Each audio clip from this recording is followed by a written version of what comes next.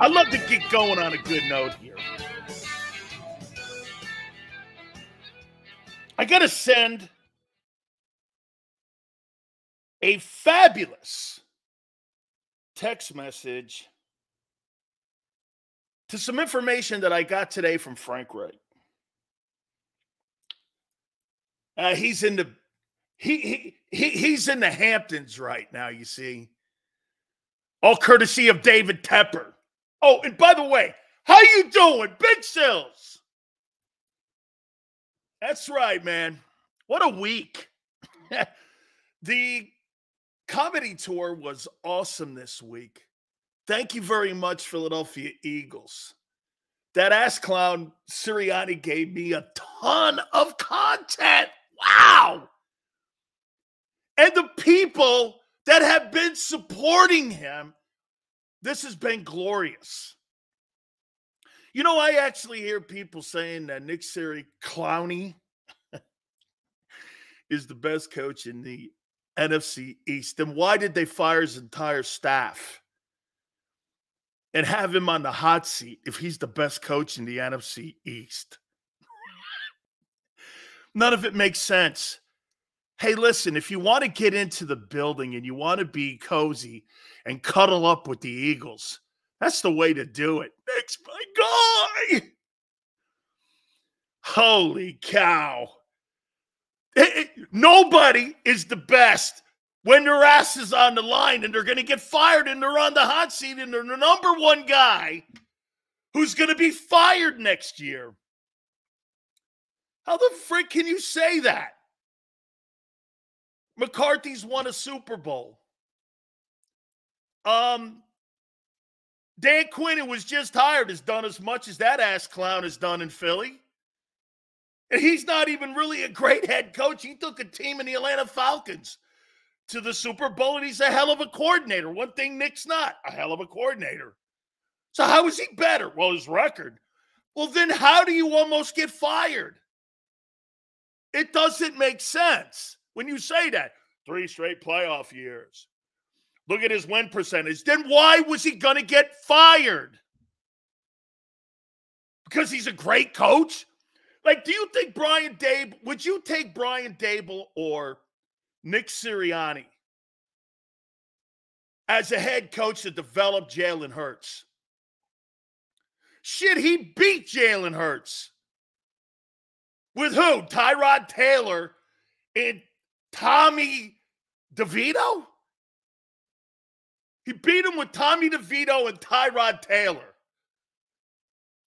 Your fabulous quarterback. Come on, man. I mean, McCarthy's won a Super Bowl. Um, Quinn's been to one and took the Falcons to one. The Falcons, one of the best coordinators. Is he third? Probably. Okay, yeah, probably. Is it better than Brian Daboll? I don't know. I could make the argument he's the worst coach in the East. Okay? Hey, um, Tone, bottom of the hour, by the way, Ron Jaworski's gonna join us. Um, if you could if you can reach out to him, send me the contact numbers. We're sending you the link. So I'm gonna I'm gonna tell him we're sending the link. Um, we are sending, and I know you did already, Tone. So yeah. I mean, come on, man. Yep, we should have the email link now. Okay, good. Ron Jaworski will join us at the bottom of the hour. We will have Tone at 3.30, Merrill Reese at 4.30. The legendary Philly Godfather will join us. That'll be at 5:30. I got a couple questions. I can't wait to get Jaws on here. And I've got a couple questions that I would like to ask Howie Roseman. If I was sitting in one of those scrums, I would really love the opportunity to sit here and ask him a couple questions. Here's what I would ask Howie Roseman. By the way, we're going to look at some of the big issues that the Eagles are going to have this coming off season here. Okay? I mean, this is my questions for Howie. And I would say this to you. Okay, do you remember that time during the season, Howie, when Nick Sirianni said that don't blame Brian Johnson, blame me, it's my offense? Well, I would ask Howie this question. How did how did Nick survive? And the assistant coaches, they took it in the shorts and were given pink slips. How did Nick survive? And the assistants, which he said all year, don't blame them, blame me. How did he survive, Howie? How did that guy survive that all year long? Am I right, Tone? Did we not hear that all year? Hey, don't blame Brian Johnson. Don't blame him. Well, why did he why did he get the pink slip? I mean, how about this one, Howie? What led to the collapse? What led to the collapse of you going one and seven? What led to the collapse? Can anyone say it? What led to the does anybody know that? What led to the collapse of one and seven at the end of the year? Isn't that a fair question to ask somebody? Since you're so confident that you bring him back and you've changed out the entire staff, why can't someone just ask the simple question? What led to the collapse? Has anyone answered that at the NovaCare Center? What led to the collapse? Has anyone asked that question? These are just simple questions that have not been asked yet. Why are you so confident in Nick? Howie, why are you so confident in him? He's the worst coach in the NFC East. I don't have a problem saying that. Every other coach has done more with less than what that guy has been given. By the way, Howie didn't pick those players. He had nothing to do with them. That's all really good football players that have been on the Eagles. He parachuted into this thing. Those players are more of a result of the 11 wins instead of the shitty coaching. Remember, with him in charge of the coaching and him in charge of the offense, he's 13 and 12. When Shane Steichen was in the building, it was a different football team. He's 13 and 12. Come on, man. How about this question, Howie? Did you see another did you see enough of a development from your 2023 draft that you're happy with it? Did your 2023 draft develop last year into being players that contributed? Shit, I'll even do this. Hey, Howie, did your 2022 draft, did they develop enough to help your football team? What would you guys look at the last two years and say when you look at the draft? Have they developed those guys? Do you think the Eagles have developed their last two drafts? Have they? Who? Who have they drafted that they've developed. So you're telling me in two years, watch this, maybe Cam Jurgens?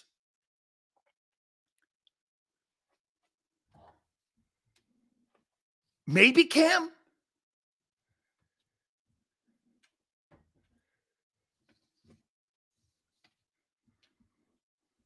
How about this one? Hey, Howie. Will Kellen Moore play to Hurts's ability and bring out the best in Hurts's ability? You know, less running the ball, less RPOs doesn't really fit to what his skill set is. The further you get away from Hurts, I can't wait to talk to Jaws. Okay, I really that'll be at 2:30 coming up here and how he sees this.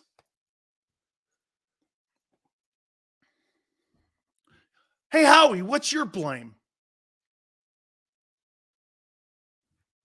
Does he have any blame in this? I haven't heard him say anything. What's his blame? Will Moore maximize Hurts's ability? What led to the collapse? Why are you so confident in Nick? I think that question may have been asked. Did your 2023 draft picks develop?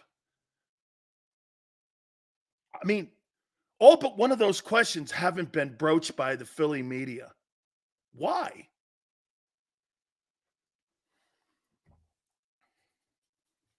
Why?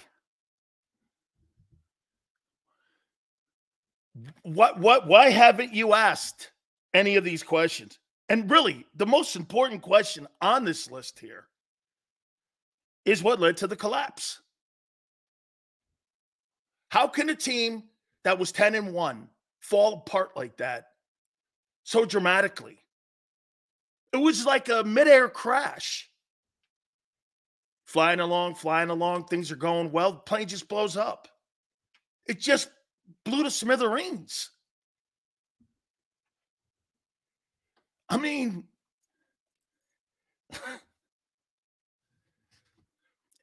tell me this. Once again, how did Nick Sirianni survive and his assistants didn't? How did he survive? Why did he survive? When he said it wasn't their fault all year. I'm kind of confused on that. They blame the other people when the guy all year long told us, all year long told us it wasn't Brian Johnson's fault. What happened to the team? He could say whatever you want, man. Totally at the end of the day here. They were looking for scapegoats. They were going to do whatever they wanted to do in the offseason anyway. And now you know what you got? You know you know you know you know what you have? You have people being talked into this coaching staff, into these coaching moves, and that you're okay with them. Won't matter. Won't matter. I don't give a shit if you hire Bill Belichick to coach your defense you don't have enough good players, and I'm not confident you're going to pick them up in the draft. The only way they're going to actually continue what they do is by going into free agency. And you really don't have the money there. You really don't have the dog, you really don't have the money there.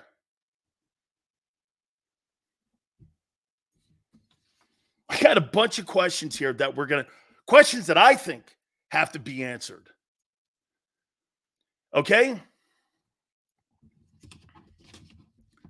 They said they wanted to keep some familiarity of the team the last three years and the success they have had instead of a complete redo. It is a complete redo.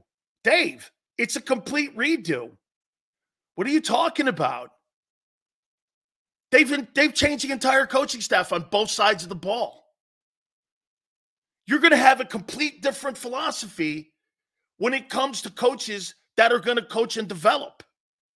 You may have the same formula that you're going to run on defense, that you're going to run on defense, but pretty much you're going to do the same shit you've been doing the last couple years. Every two years, you're going to retool your team. I mean, look, guys, once again, I'm just looking for answers. What happened? Isn't that the craziest comment you could possibly make?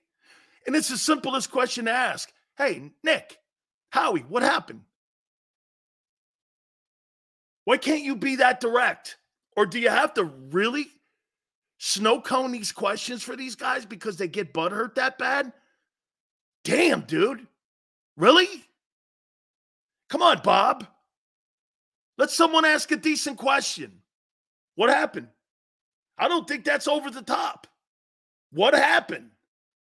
San Francisco broke you, then you weren't a championship medal team. Jesus, Joseph, if that's the case, they broke you you were never going to win shit anyway. Teams get beat, teams get killed. San Francisco got killed by the Bengals and the Ravens, and they're in a Super Bowl. Teams get killed. Hey, you know this? When the Eagles got killed by the Niners and the Cowboys, I wasn't really like wobbling that much on it because they had beaten Kansas City and Buffalo, who were playing good ball. One was the defending champion, and by the way, is back in the Super Bowl. You had some quality wins to counter the massive losses that you had between San Fran and Dallas. That's a normal NFL season when you're playing high quality teams. Sometimes you get the shells, sometimes you get the egg. So, but when you get killed by Seattle and you get beat by Arizona, and then you get beat by the shitty Giants and run off the map by the Bucks. What happened? Like, how did you lose to Arizona and New York? Ask that question. What happened in Arizona and New York? How come the team was not motivated to play? Like Tony and I were talking yesterday. Dude, championship teams, they lose two or three, possibly four games. You go, shit. But you don't lose six or seven and go, yeah, we were a medal team and we were a Super Bowl contending. Actually, think about it. You were never a Super Bowl contender, even at 10 and 1. Super Bowl contenders don't lose six or seven in the back end of the season. Most teams get better by the playoffs, not worse. You were in reverse. Get this. You want to hear this? If you ended the season like you started the season, I would have said you were a Super Bowl contending team. But the way you ended it, you were never. Because most good teams get better towards the end of the season. Not you. Okay? Not you. Not you. Oh, by the way, I was really glad to see my boy Josh Allen finish second in the MVP voting.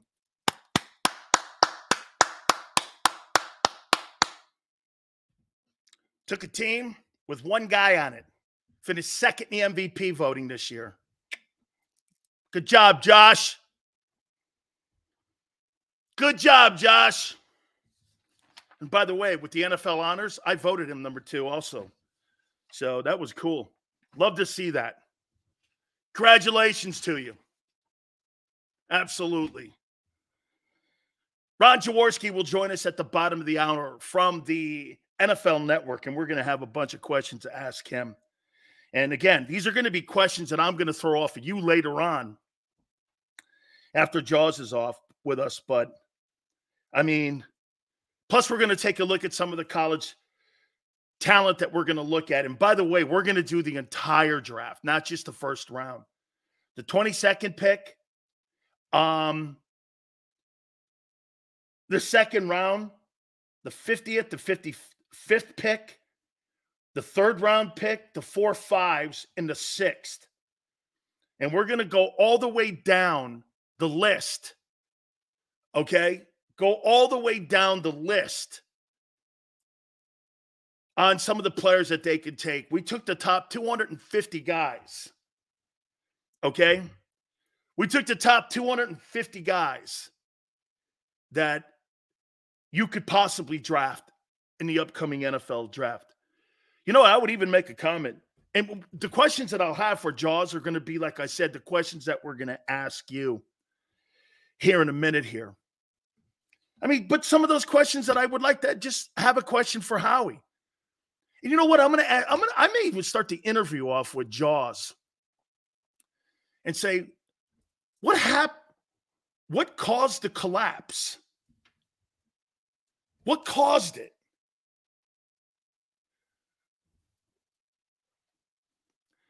Slager says, Sills, they asked Sirianni what went wrong. He gave some bullshit about stale and how we all had a hand in it. Hey, did you see what Jason Kelce said on his podcast about the Eagle offense? Have you seen it? Ha- have, have you heard it? Tone, have you heard it too? Have, have you guys heard it? Have you heard what he said?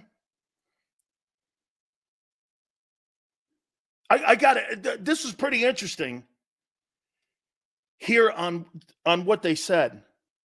This was on the um,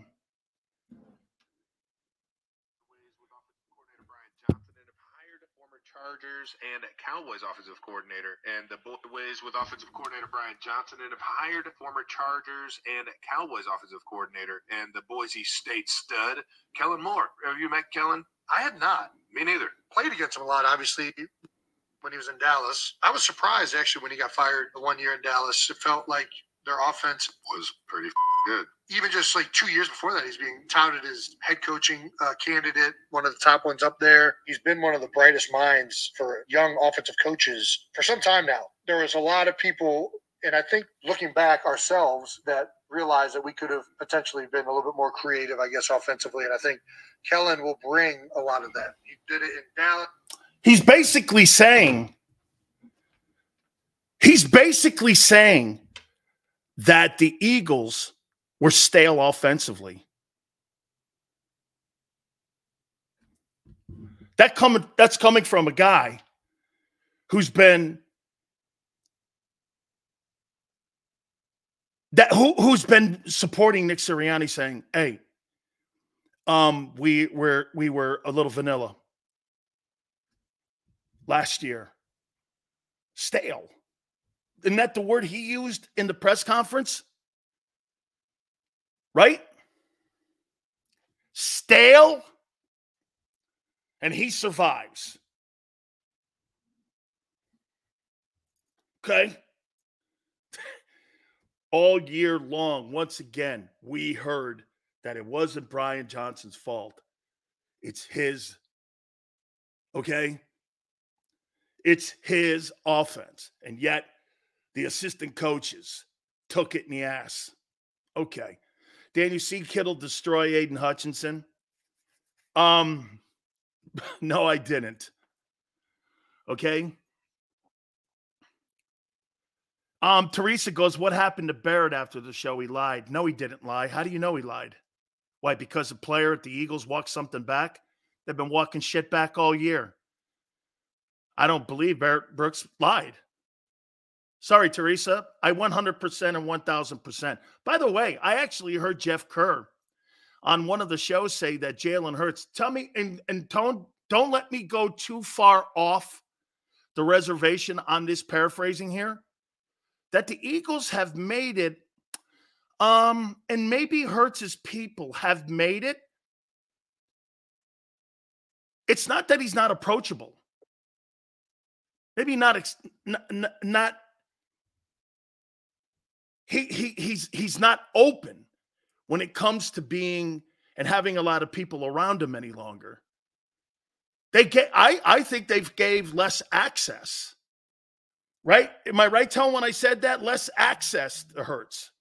He's not as accessible. You know, one thing Boomer Esiason said on this program a couple months ago is that when players get paid big money, they have to learn how to play with the contract as well. And Boomer was right. I think there's a lot of pressure. There's a ton of pressure when it comes to this. There is a ton of pressure when you play and you have that kind of money put on the table there. Okay. So, hey, man, I'll tell you what, one of my favorite people on the planet, and I remember going back with Steve Sabol. God, you know, one of the greatest things that I ever had was my relationship with the Sabol family and NFL films. And this goes back before I bring Jaws on, because Jaws is around all the tape that they have down there at NFL Network. And I remember being and setting up cones at the Yale Bowl when the Giants played at the Yale Bowl. And there's Steve Sabol and his dad putting all these camera guy angles on. And Jaws has been in that building for such a long time. It's one of the most iconic places in NFL. You got the NFL Hall of Fame and you got NFL Films. I think they're both Hall of Fames. Here's Ron Jaworski with the NFL Network. He joins us now. Damn, Jaws, that must be so awesome to be around Fort Knox of the NFL every day. Pretty much, Dan. Great to be with you once again. It, NFL Films really is the heartbeat of the National Football League, and we television does a magnificent job. But the the close-ups, the sound, the visuals presented by NFL Films, and started with Ed and Steve Sabol. Now Ross Ketover is doing a great job of leading NFL Films. It humanizes the game. You know, we all know it's a tough, physical, nasty game to play, but it humanizes it. It, it brings the, the passion into our living rooms, into our homes, into our on our TV. So, um, you know, 28 years having my office in NFL Films was every day, but it was an honor to go to work uh, and be with the great people of NFL Films that make the league so, such a special place. Jaws, let's get into Philly and let's get into the Eagles. Your first thought when there was a possibility that Philadelphia was contemplating potentially moving on from Nick Sirianni. And obviously, eight days after or nine days after, they decide to move forward with Nick. Were you shocked? Were you not shocked? Just give us your impressions on the overview of what you saw that whole time as they were evaluating the coaching staff. No, I was not shocked at all. I, I, I was, I, I, quite honestly, I wasn't even really concerned about Nick Sirianni's job. I, I think overall he's done a fantastic job. Um, people remember the, the, the latest, and it wasn't the greatest, um, but you got to look at the full body of work of Nick Sirianni. Three years, uh, 34 and 17, a Super Bowl appearance in his second year. No question, it was a colossal collapse after a 10 and 1 start, going 1 and 6 down the stretch. But uh, I think things needed to be addressed, and they were. Uh, I have unbelievable respect for Jeffrey Lurie. I, I, think he's one of the most conscientious owners in the National Football League. Uh, he doesn't make knee-jerk decisions. He's thoughtful everything that he does in regard to his football team. Uh, he's a great owner. Uh, so I, I, knew he would be thoughtful in his conversations, and I'd probably say the same about Howie Roseman. You know, I mean, Howie Roseman has built a really good football team. Um, yes, there was a collapse. There's no doubt about it, and corrections need to be made, and they have been made already. The new coordinators on each side of the football, and a lot of assistant coaches being dismissed as well. So um, I think the Eagles knew that changes needed to be made, but they weren't the head coaching position.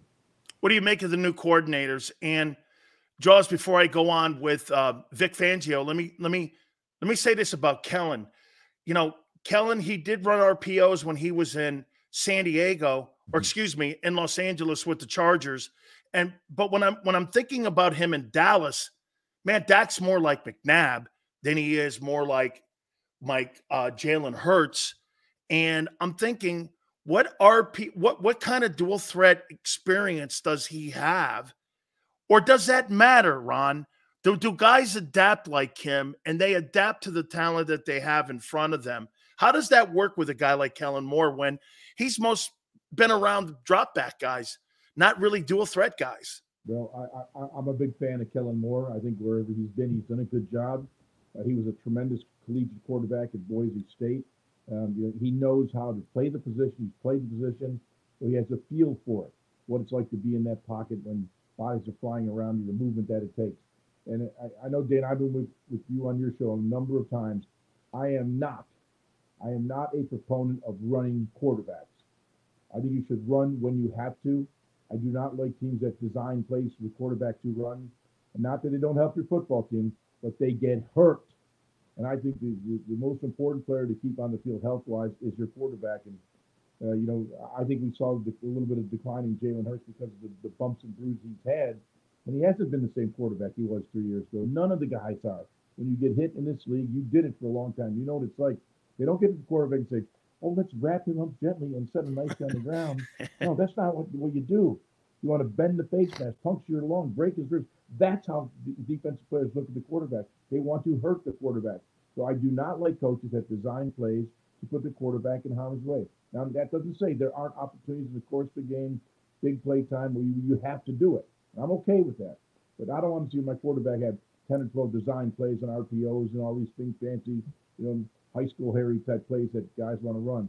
I am still a big believer in the physicality of football. The team that wins in the trenches usually wins football games. So Uh, I, Kellen's not going to bring a lot of fancy running quarterback, zone reads, and all these other things and get Jalen outside the pocket and get him hurt. Jalen was not the same running quarterback he was this year that he was the previous two years.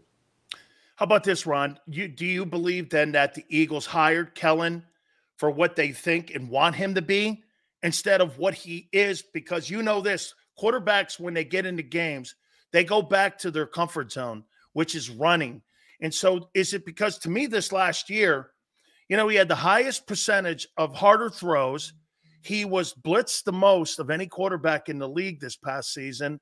And it just became to me that they were morphing away from 22, which got him to be the second runner up to the MVP. So I would say to you, Ron, are they trying to adjust his game? Would that be a fair comment? Yeah, I, I, think that's a fair word. I think you got to be careful how you make that adjustment. Uh, and go back to what I said a moment ago. I, I, think the physical nature of football means you have to run the football more.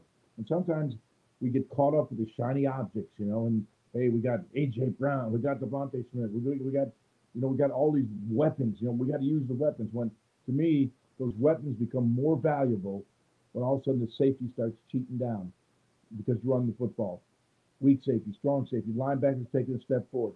Once you get those linebackers and safeties cheating up toward the line of scrimmage, oh my God, you open up the middle of the field for the big passing play. So I think you must be a, a, a two-dimensional balanced offense and dictate the terms of engagement through the defense. If you don't do that, team's going to sit back. They're going to, rush five. They're going to rush six. Play everyone else in coverage, and that's going to be much tougher to, to damn complete passes down the field. Tell me, Ron, the relationship between Nick Sirianni and Kellen Moore. Are you more concerned about the relationship with Kellen Moore and Jalen or Kellen Moore and Nick? Because, hey, hey, Ron, you know, anytime a head coach, and we, and I'm not going to use the word demoted, but he was hired initially to be a play calling head coach. This is what he was hired for. And when he's had the offense, if you look at the two and five start, and this last year, he's 13 and 12 when he's had the offense in his hands and not Shane Steichen's hands. So I would ask you, I go, will that be a conflict? Isn't that also a relationship that people have to keep an eye on, on how that dynamic's going to work? And I think it's more of an evolution. Uh, the way Nick has, has evolved as a head coach. I think initially he did call for about seven or eight games before Shane Steichen took over. He did call the plays. Um, and, and, right now, as we see it around the league, there, there are two schools of thought in this. You, you got some coaches that want to call offensive, defensive plays. You have some that want to be, I will call them, develop the culture. And, and, and I, I think as the game has gotten bigger and the time usage of head coaches now, I think I lean more toward developing the culture. Everyone says, well, he doesn't call plays. He doesn't run the offense. Well, what, what's he do? They have no idea. You know, you and I, li- you and I lived it you're putting in these coaches put in 18 to 20 hours a day a day they sleep in their office they put the time in developing not only the football team but the culture of the football team and by the way the culture of the organization because when you talk about culture the culture means from the owner on down from the owner the gm the president of the organization to the scouts the people that are working all the college games and working you know uh, physically going to college games what is the culture of the team? And, and a lot of that is dictated, yes, I think number one by the owner, number two by the head coach, because he ultimately becomes the face and voice of the football team. So I think I'm okay with Nick Sirianni developing the culture and building this football program, not being demoted, say, from a play caller. I, I think the league is going more toward getting a, a head coach that develops the culture. How about this, Ron? Why such a change when it comes to the coordinators? A year ago, they hired guys with no experience, basically. And this year, all of a sudden, it's even the position coaches that you see coming in. These guys are 10 year, 20 year plus guys. I mean, maybe you got a sense of urgency. You know, and I thought about this last night, Ron. How much is that playing into February when you're late, when your coordinators get taken away from you? How much does that play a factor that you know, I mean, especially when a guy gets plucked, Vic goes to, he goes to Miami. Maybe Desai was the third choice. You don't get enough assistance. You really don't have enough time because OTAs are on top of you right away. And they're right there. This is a, tw- hey, when you and I had six months off, we could go get fat somewhere on a fat farm and we could sit there and eat and drink. Now it's a 12, 24 7 deal. And You were probably hey, you were probably working at a bank somewhere. I was working at a pizzeria. All right. and like, I mean, how much did that play a factor in like it's such a dynamic change? No, it, it is a change. And some of the change has been, been good in my opinion. Some of it has been negative in my opinion. But um, if, if you think about offensive coordinators around the National Football League over the past two years, two years, every team has changed their offensive coordinator. Every single team. In the national, 32 teams in the past two years have changed their offensive coordinator. I don't know what that number is on the defensive side of football. I'm working on that, but I know the offensive side, it's been a new play caller. So not for long, as we heard from the NFL, not for long. You better be productive or changes are made. And, and, and the game just keeps evolving. And, and I actually, your first question, I'll answer first. I, I, I did not like inexperienced coordinators coming on, which the Eagles did last year. I, am a big believer in wisdom. A guy that's been through it. You know, and, and, and Brian Johnson's a great guy. I've had a great relationship with him. Sean Desai, great guy. But once you get thrown into the fire of calling NFL offense and defense, you know, if you have little experience or no experience, it is a hard job. So I think the Eagles have learned from using inexperienced play callers to going now to more experienced play callers. Vic Fangio was one of the best defensive coordinators in all of football. You know, I, I, I don't care what anyone says about what happened in Miami. They had a pretty damn good defense in Miami with a lot of players hurt last year. I don't know what the reasons were, why there's a parting of the ways, but I know this. Vic Fangio can flat out coach. He's been in this business since the early 80s here in Philadelphia with the stars of the USFL. He's had some of the best defenses around the National Football League. He knows how to coach. He knows how to call defenses, and his schemes are sound and simple for the players that play in them. I'll tell you what, Ron, I heard people belly aching and crying in Miami. You know what I told everyone? Good. I go, listen, man, you finally got a coach that's going to hold people accountable. Amen. And some of those guys Dan, down there Dan, don't like it. on. Right, Ron? Some of those guys down there don't like it. Well, guess what? I don't care, man. I want a guy in here holding people accountable. I, you know, if you're not bitching, coach isn't doing his job, in my opinion. Yeah, Like, me too. Seriously, seriously. If every, if every, oh, this is great. We don't work hard. Hey, everything. Oh, we're, we're home by four o'clock. Hey, we love it here. I'd rather have guys say, he's killing us. He's working us. We're meeting. We're meeting for three hours after practice. We got every detail covered. Not these guys hitting all the clubs down in South Beach. You know, but you know, are they paying the price to be successful? Vic is old school in that regard. His defense and his players will be accountable for doing their job, and I think I think that's the number one thing Vic will bring: accountability. You know, you know, you know, Ron. I you you you made the comment, and I'm with you. I don't like guys. As a matter of fact, I got a problem with the guy at Buffalo the way he runs too much because he's going to end up like Bert Jones. This guy keeps his stuff going the way he's running up there. Now they got a running back for him, and they're helping him more, and they're morphing more into that with Joe Brady and the underneath passes. They're helping him. But when I watch Hurts this past year, here, here's what I look. If you want a guy to be the CEO of your company, or you want a guy to date your daughter or marry your daughter, Jalen Hurts is your guy. Dual threat for me, I tell you, I think you get too much inconsistency. First year starter, second year starter, third year starter. You got three different guys, Ron. I mean, who is he? He's never going to be. You're you're never going to be as great of a season that you had in your best year, or you're never going to be as bad as your bad season. You're somewhere in the middle. Are you concerned about Hurts moving forward? No, I'm, I'm really not. I, I think Jalen, as you said, he is, he is arguably the hardest worker on the team. And I'm not just saying that because he's in Philadelphia and I know him. I, I know coaches that are with him every single day that I speak to on a somewhat regular basis that people in the organization that talk about his work ethic. He's a hardworking guy. You know, we, we've heard we've heard the BS about a lot of quarterbacks in this league, first in, last out. Jalen is first in and last out. He does put the time in. But he's, there's some areas of his game, and I'm, I'll, I'll, I'll be critical of. He, he's, he's at times to me is a slow blinker. He, he doesn't read the blitz very well. He doesn't read it quick enough. And it's a part of his game that he must be better at. You know, the, the loss of Tampa Bay in the playoff games. Tampa got blitzes home, the same ones they ran in 2021 in the playoff game. The same blitzes that worked in that 2021 playoff game worked this year. So, you know, I, I know he was prepared for him, but he didn't handle him well. The offense didn't handle him well. The side adjusts weren't there. The hot principles weren't incorporated in, in, in the scheme.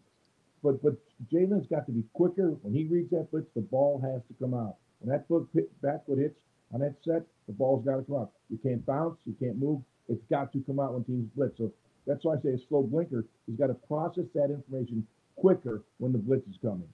Do you agree? Bill Bill Walsh told me this years ago, Ron. He said, and I go, man, Montana's got a great arm. He goes, no, he's got great feet. And I went like this feet. He goes, the great quarterbacks don't drift to seven step. They get back so they can process. The great ones are processors. That's why you don't you can be like Peyton Manning and Tom Brady and not be able to jump over a stack of quarters, Ron. But these guys get back into their seven step. They got great feet and tapping and staying in the pocket presence. When I watched Jalen, am I wrong, Ron, when I say this? He just seemed late on his throws. And I watched that Seattle game. He threw into double coverage and he had DeVonta underneath. Go to the easier throw. I mean, don't make the game harder than it needs to be made. And it just seemed that the offense was trying to get plus 25 plays and explosion plays, and those routes took forever to develop. It just looked like one on one to me. And again, it be, when you're in that mode and you watch 10 or 11 football games and you're a football player that plays in the NFL or a coordinator, you become predictable when you look at the at the catch ratio. AJ Brown had 38 of the uh, was 34% in targets, the most of the league. So after a while, you go like this: they're not throwing anybody else. It just became too predictable. Yeah, I, I think if, if, there's a change I would make in the offense, it would be have a number of plays designed to read short to deep, and this is where the Kellen uh, Moore experience I think will pay off. You know, guys like CeeDee Lamb who were really great in that slot, quick balls coming out quick the Eagles need to do more of that. I I, I believe, and I watch every game on Monday morning or whatever. I, I know you do. When I was, I'm looking at the tape because I, I want to see what happened. I, hate to make comments based on watching just one player or two. I like to see 11 on 11. And I, I thought there were too many times and by the design of the offense where the ball wasn't coming out to the short, quick receiver. And I think they need more plays in the playbook to get the ball out quick. Those three-step drops. And I think he needs to run a little more under center as well. I'm giving you all my breakdowns of the damn offense right now. Um, the only time he gets under center is for the tush push, you know. But I think you need you, you need to be more under center because it gives you a better opportunity to run play action passing, and you have more runs available when you're under center than when you are under shotgun. So I think you know I think Kellen will come in and put a lot more quick passing game plays into the game plan within this offense. I think that will help Jalen because he doesn't have to.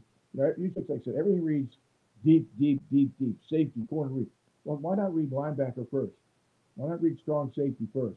Let them dic- dictate where the ball should go, but always have that short, quick pass to get the ball in. Now, as I said earlier, now the secondary starts cheating up, linebackers cheat up. That's the attack down the field. Couple last questions for you here, Ron. You know, we look at the recent hires. Majority of the hires were defensive coaches, and if you look at the league, scoring was down, and we didn't have a 5,000 yard passer, even though we added a game. We didn't have that. And it just seems to me that these coordinators now are just now starting to catch up with some of these high high gun offensive coordinators.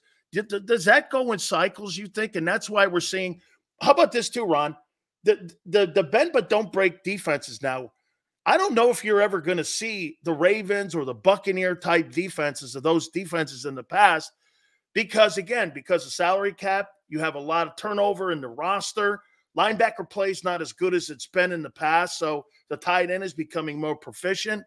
Is it just really, it's not an Eagle thing where we're looking at keep everything underneath, bend but don't break, control and contain, because that's what Fangio is. He's a control and contain guy.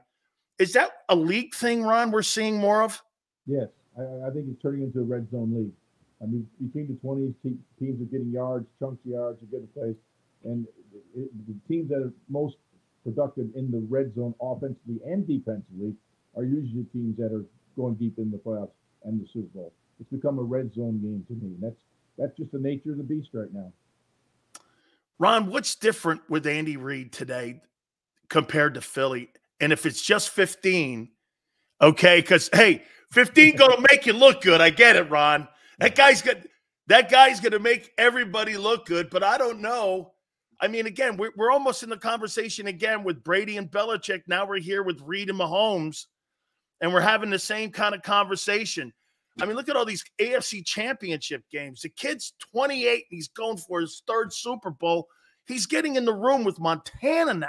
This is psychotic. I mean, and Andy's now with all these conference title games in a row. I mean, what's different about him today? Well, first of all, Patrick is in rarefied air. He is a, he is a tremendous talent. There's no question that.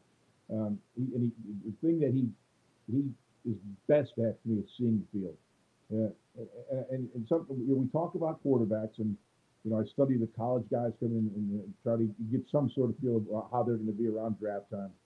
But vision is something we normally do not talk about when we talk about quarterbacks. Arm strength, speed, size. Can you see the field? Some guys have that myopic view, you know, through the telescope, and they can't see anything around them. I want the guy that sees the entire field. Those are the guys that are the most successful. The vision is critical. I don't think there's anyone better in the league than Patrick Mahomes. Now, occasionally he will dip his head.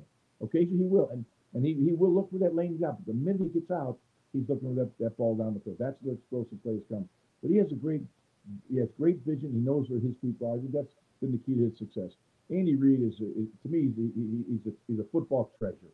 Uh, Andy is, you know, Andy's obviously going to be a Hall of Famer, but I just love the way he's adapted to today's players, today's offense, today's defense. And by the way, how Dan, maybe you can tell me this because no one's been able to tell me this. How does Steve Spagnuolo not get mentioned by all these moronic general managers and owners looking to hire a coach in this league?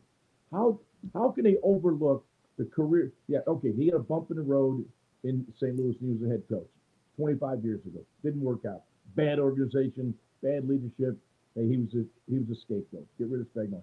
You look at the history of Steve Spagnuolo, and if you know Steve Spagnuolo, like I know a lot of people that do, and I know Steve is days in Philadelphia, there isn't a better X's and O football coach around than Steve Spagnuolo. There, we can talk about Patrick Mahomes, Andy Reid till the cows come home right now, but they're in that Super Bowl on Sunday next Sunday because of one guy. To me, Steve Spagnuolo has redefined that defense and rebuilt that defense where the defense now carrying the Kansas City Chiefs. Yet eight coaching jobs are open. I don't hear Steve's name. I I, I just I, I don't get it. I'm gonna I'm gonna I'm gonna tell you why that you see Vrabel, Carroll, and Belichick not as a head coach. The reason it's not because those guys were passed over. You have now with the analytics departments, and you have a lot of these young guys. A lot of these organizations today, Ron, in my opinion, don't want to surrender personnel control. They don't want to surrender the hiring of assistant coaches control. The thing I heard from Rich McKay, and it was $28 million that may have played a factor, but he wanted to bring Scott Pioli down with him as part of the scouting department and the Atlanta Falcon people. Arthur Blank wanted him, but he was like, you know, and he wanted to hire Bill.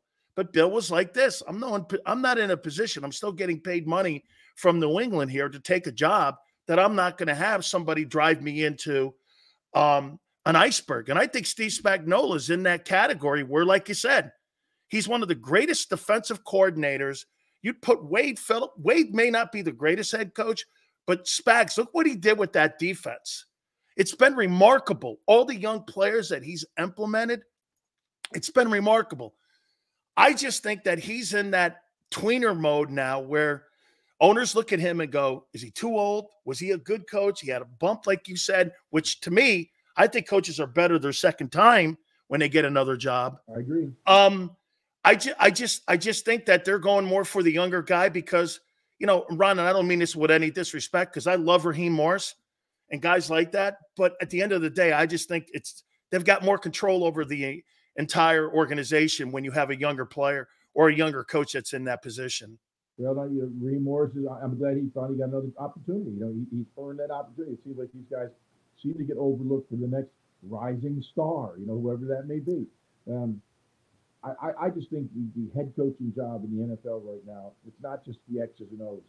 You know. Oh, completely. When we talk about Nick, it's about developing that culture within the team, and it's hard to be a position coach and be, you know, leading an organization or calling plays and leading an organization. There's so much on the plate right now. That's why I, I lean toward veteran, experienced guys. And you said it, the guys who knocked down a few times and grew up from those experiences. You know, not just hey, I got beat, and you throw in the towel and you quit.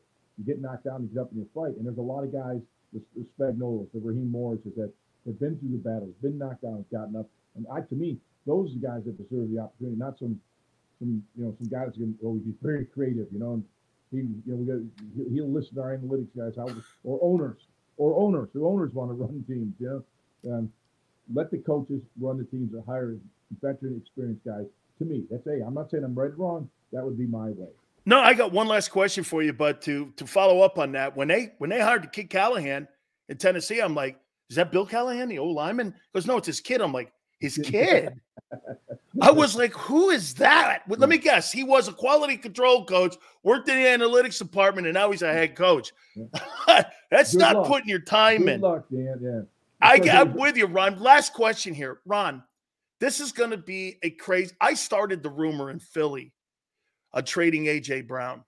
Now, before you think I'm crazy, I want you to listen what I what we just talked about with Kansas City and with Jalen Hurts, and I'll, I'll tie it in here. Kansas City is in their second Super Bowl in a row without Tyreek Hill, and he could win his second without him. They took all those resources and the $50 million that they've paid him, put that in that side of the football, and opened up the window for Patrick Mahomes, a Super Bowl window, more because they run the ball and their defense got better. Look at Green Bay. Green Bay gets rid of Aaron Rodgers and Davante Adams. They get all those draft choices, Ron. They built that team up. Green Bay is trending up. My point is with these big time wideouts that you're spending this money on, or even a quarterback, would you rather build your team? San Francisco has something going on, which is the freakiest thing I've ever seen. A quarterback can win the Super Bowl making $870,000 a year and you're paying 50 million here, 25 million here. Ron, isn't it harder to find a guy like Mahomes and the needle in the haystack than to sit there and build up the integrity of your roster and have a competent quarterback like like Brock Purdy? Because Brock Purdy to me is maybe a little bit better version of Jimmy Garoppolo. Don't you have a better chance of building the roster up than finding Mahomes? Well, no, no question of that. I mean, just, you're not going to find many Mahomes. I mean, it's just it's not there. There are great quarterbacks in this league, probably five of them. You know, probably five you can count on week in and week out. Some may stretch a little bit, but you're right there. But, but to answer your question about AJ Brown, I think absolutely not. I, I think you, when when you look at this Eagles team, the way that they're going to win probably the next two three years is going to be on offense. Their defense needs a rebuild. Linebackers, safeties, corners need a rebuild they're going to have to outscore people. And, and maybe I would agree just a very little bit, maybe getting more draft choices, you trade AJ Brown, you can take a $42 million cap hit as well. Um, I think when I look at this Eagle team right now, the strength of their team is the offense. Offensive line is still very good.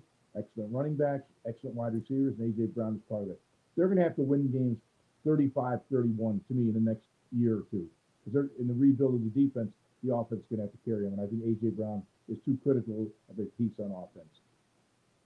I have to ask you one last question. Who wins the Super Bowl? Kansas City. Chiefs, 49ers. Kansas City. Kansas City. Kansas City. So this kid wins his third. No, Andy Reid's going to win. His, Andy Reid's winning. Not not Patrick Mahomes. The Chiefs are going to win. They win it because of Andy Reid, Steve Spagnuolo, and Patrick Mahomes. Man, Ronnie's been to five now. He's been to five, and Philly fired him. He's he's in, well, and, and that's kind of a little bit of a misconception. I think the, I think Andy wore out his welcome. The Eagles wore out their welcome of Andy Reid. Um, I sensed it at the time. It was probably time. It, it was time for a divorce. And it, within a half hour, Andy had a job. It, it wasn't. within, a half, within a half hour, Andy had. Everyone knew how good he was. It's just it was time. I I, I, I can't say any more simpler than that. Hey, I, hey, hey, Ron, Ron, what's his name? Tony Dungy told me. I go, so when the Bucks fired you and the Glazers fired you, he goes, he goes, you want me to tell you the truth? I go, yeah. He goes, okay. Polian was on the phone 15 minutes later, and he goes, what do you need? And I go, and, and I was like, I just got fired 15 minutes ago. Yeah. And it, he goes like this. He goes, whatever you need, let me know. Yeah. He goes, you want us to pick you up tonight? Fly you in? He goes, no, let me guess because you know, he was really tied into community at Tampa at the time. He still is actually. Oh, and he goes, he's like 15 minutes. Irsay called him and he had a job waiting for him. If you're good, they will find you. yes, they always do. Hey, Ron, thank you so much, my friend. I so appreciate your valuable time. You always find time for me, man. Thank you, my friend. You bet, Dan. Have a great new year and uh, go Chiefs on next Sunday. Since I picked them. What's that? Since I picked them, I got to root for them, right? Yeah, now you got to root for by the him. Hey, you know what? Too, I'll tell you this. Um, you know, I love Randy Cross, and my boy Kevin Fagan and Michael Carter played there, but I'm going Kansas City too. By the way, I did end my career in Kansas City in 1989. You did. I like I like the teams that paid me. Wait, wait, wait, wait a minute. They didn't pay him. Oh, okay, we'll leave that alone. hey, thank you, Ron. I appreciate it very much. All right, thanks, Dan. Great. Thank you, Ron. That's friend. Ron Jaworski. right. That's absolutely cool, man. Yes. I appreciate Ron coming aboard, man. What a great legendary player for the Philadelphia Eagles. I think he started, if I'm not mistaken, I think he started in Miami. Okay. Didn't he start in Miami? All right. Our boy Tone's going to join us. That'll be at 3:30. Merrill Reese will join us at 4:30. The legendary Philly Godfather will join us at 5:30. Hit the like button, keep it here, National Football Show.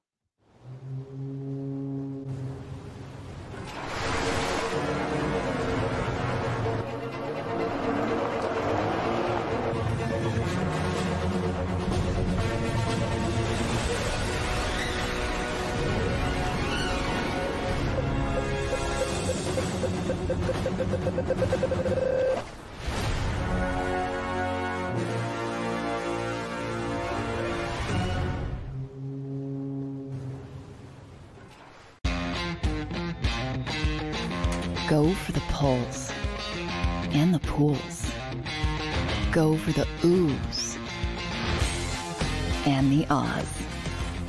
Go for the bubbles and the bubbly. Go for the story and the stories. Go for the win. Go to Ocean Casino Resort. Book your trip at theoceanac.com.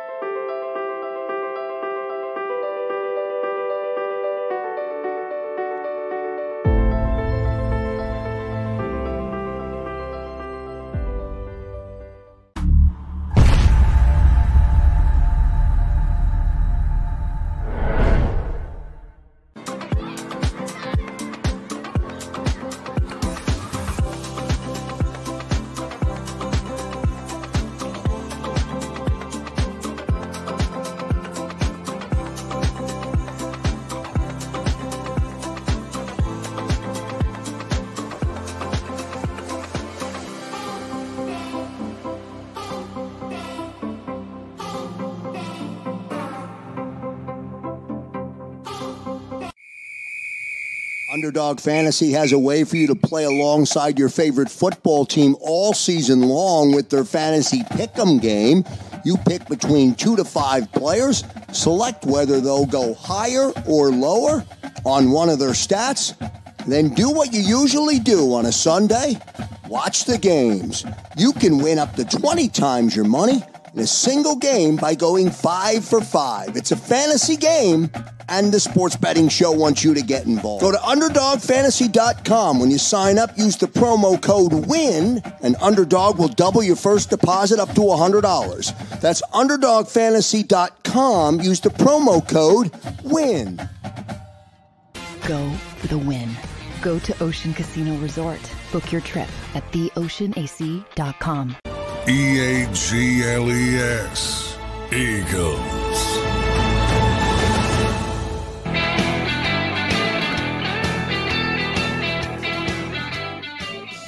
You know, I, I I was listening to the sports take guys before me, and they were talking about Sydney Brown potentially being a good football player for the Eagles. Well, does he fit? How can you have a non-aggressive defense and an aggressive player and think that meshes? You know why sometimes he was out of position? Because that defense is not aggressive. He's an aggressive football player. He's got to change his game to fit their defense if he's going to make it. You watch film on him, everything he does is aggressive. Runs to the ball, his tackles, his hits. It's all aggressive. There's not one thing they do aggressive on that defense. So where's he fit? Does he fit in a Vic Fangio bend but don't break defense when he's a guy who likes to break and bend people over? How's that fit? How's that fit? Again, is he on the right team? You know, you you're, you're telling me he's a good player. I think he is too. I think he's got potential. He's got 10 times more potential than Nakobe Dean does. But at the end of the day, does he fit? He get get this. Think about it. You don't play an aggressive defense. You don't blitz. You play cover two. You don't let anything deep. You keep everything underneath, and it's all check down shit. That's not aggressive. And he's an aggressive player. Interesting to see how that dynamic works out. I, I got a great feeling that Sydney Brown's going to. Well, okay, well, does he fit the defensive scheme? Everyone's got to fit in. One of the things that Haason Reddick ha- had problems with in his three prior stops, or his two wait, Arizona, Carolina, and then Philly. Okay, two prior stops. What was it? He didn't fit. He didn't fit their defensive schemes. They couldn't figure out what to do with him. What is that just isolated to only Philly that everybody fits? Oh, yeah, of course it does. How dumb can you be? Not every player is going to be in a system that is conducive to their skill set. Didn't you watch your quarterback this last year? It applies also with safeties, linebackers, edge rushers, receivers. Okay?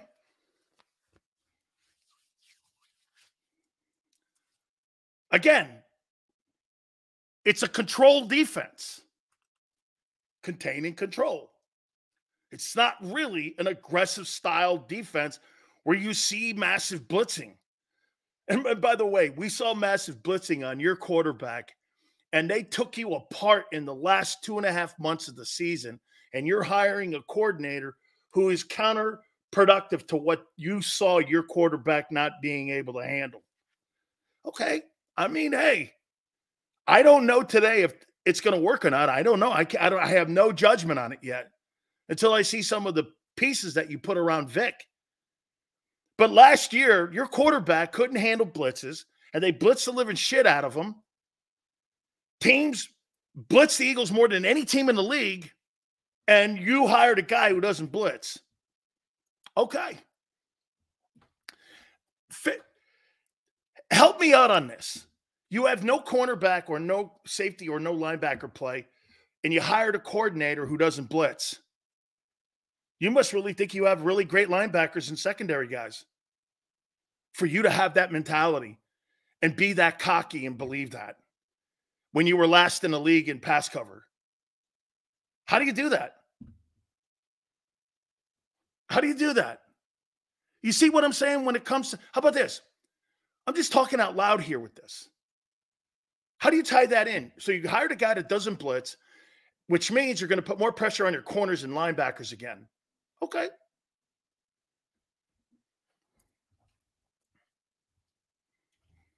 And you saw what the blitzing did to Jalen all year. Well, not all. Well, yeah, kind of all year. Here. By the way, again, Tone will join us at 3.30. Merrill Reese at 4.30.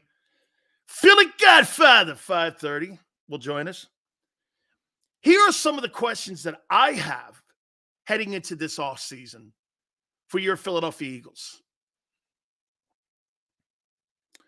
Um, whose offense is this going to look like? Kellen Moore's or Nick's? I have a question with that, don't you? What's the offense going to look like?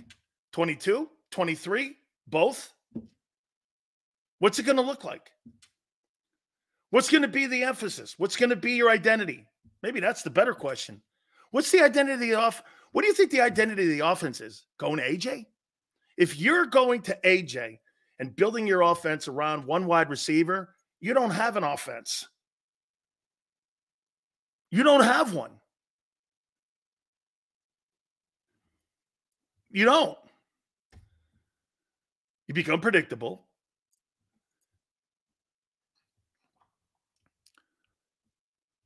For a man that doesn't blitz, he was able to set the sack record in Miami. Correct, because his front four got home, unlike the Eagles last year. Okay. Is that your answer, Dirty D? They didn't blitz. Their front four got home. You didn't. Uh, uh, is, is that what you're looking for? For a guy who didn't blitz, okay, they broke the Miami Dolphin sack record, okay? Yeah, because their front four got home. Is, is there some secret message there? What's the message? He didn't he doesn't blitz. You didn't have a front four that got home this year. You had no front four. You had no sacks. You had no pressure. Actually, your defensive line was even called up by Howie in the year-ending press conference. We didn't we didn't live up to our potential in the D line.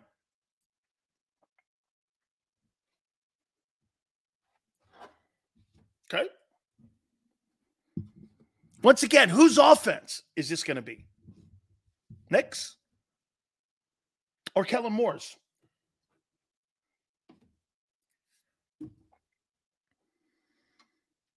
Here's another question I have Will Howie invest in linebacker spot, free agency, and in the draft? And how much? I think they'll address it. But how much commitment will they have behind it? How high? Here, let's make a prediction here. How high do you think Howie will draft a linebacker? Let's make a prediction here. By the way, we're going to have a little fun with that because I wrote down guys I think you'll draft all the way through the draft. We did the entire draft for Philly. What round do you think the Eagles will spend a linebacker pick on? What what round would you say?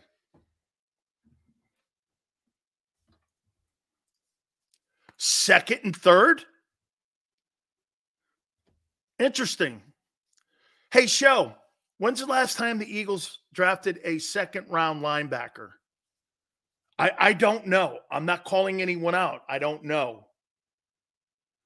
When's the last time they drafted a guy that was a linebacker in the second round?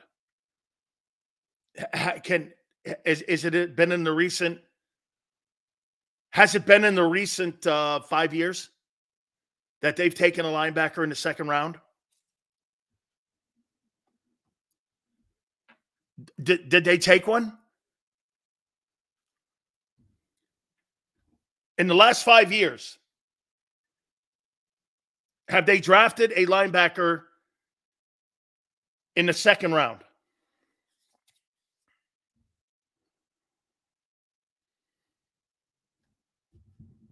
No. Or, oh, or I, I don't know really. No. The highest they have gone is third round. So my question is will you go to the second round and take a gamble at linebacker, which you've absolutely shit the bed on for the last 23 years? With very, very, very select few that have been decent and good. You could you could count them on a hand in the last 25 years and linebackers you've drafted. You're talking to me about people in 2012 or people in 2007 Give me a break, guy. You have you don't have one player on that football team right now at the linebacker position that's worth a shit. Are you going to spend a second rounder or are you going to spend money? That's a question. Is that a fair question? I say this. He'll probably draft a linebacker in the fourth. Because now, unless Howie was just talking shit at his press conference, which is probably what he was doing. You don't want to show your hand. I would give him so much more credit too if he does this. You know, if he does this come April and this guy takes a linebacker in the first round and he says we're happy with what we had in the press conference, good for you, man. You think Vic will get a say in the draft? I think Vic is going to get a say in the draft, Dirty D, because his assistant coaches are going to put a profile together of the type of player they need.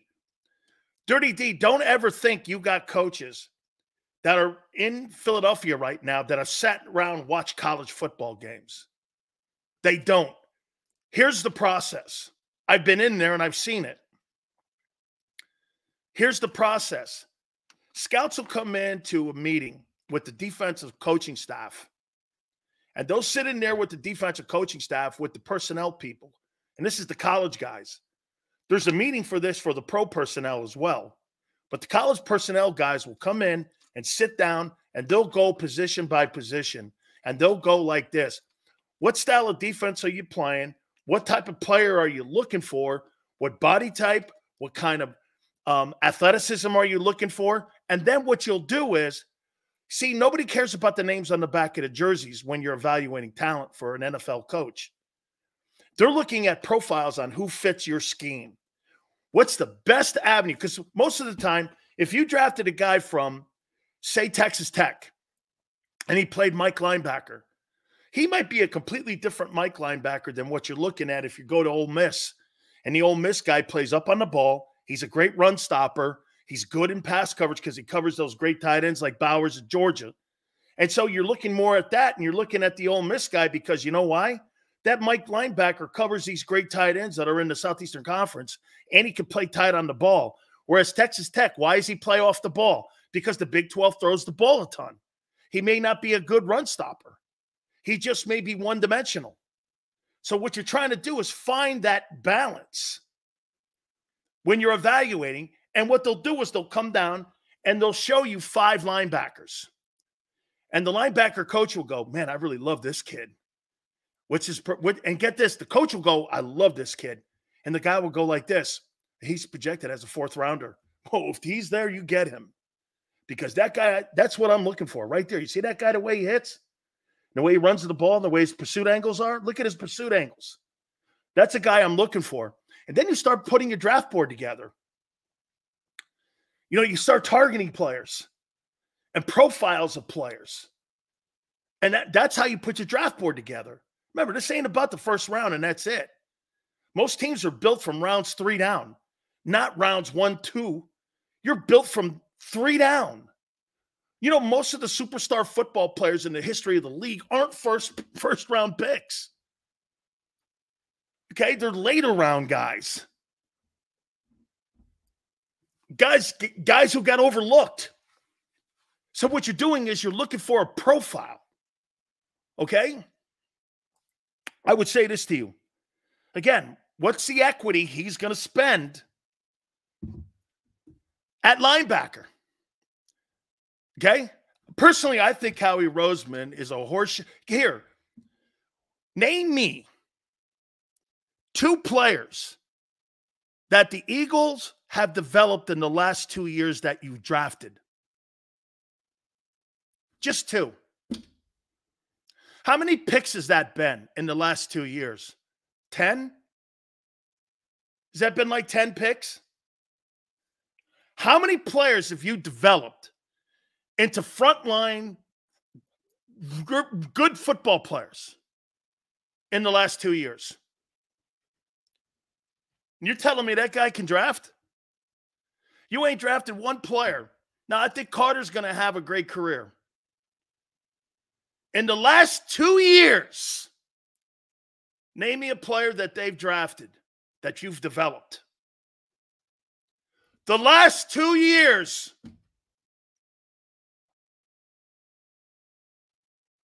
the last two years, the last two years,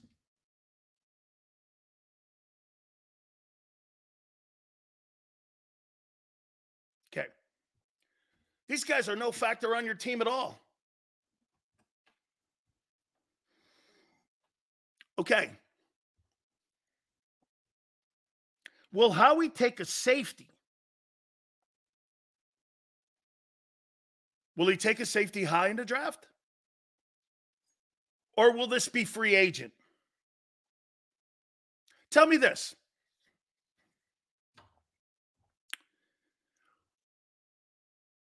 How high is the last safety in the draft that Howie's drafted?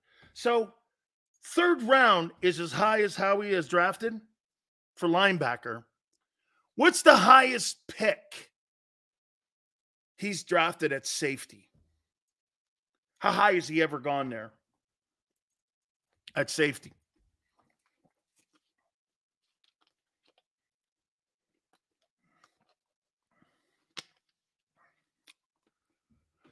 Third round, yeah, Sydney Brown.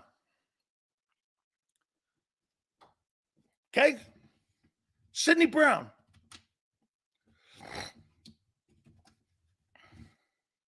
Yeah, you know, I, I made that comment about in the last two years is any of these draft choices has been a factor. And I thought about DeVonta's first year. What a great rookie year he had. And uh, really, he was the only receiver you had. You think back on that first year, man, you, you get this. That first year in that 980 or 69 yards, whatever he had, if he was in a decent offense that threw the ball, and had a quarterback who was more established. I'm not ripping Hurts here. Hurts, that was his first year starting. Most first year starters aren't going to throw the ball like CJ Stroud. But I'll tell you something. If he was in that, he was in any kind of offense that threw the ball, he would have had Jaylen Waddle's numbers. And remember something with Jaylen Waddle.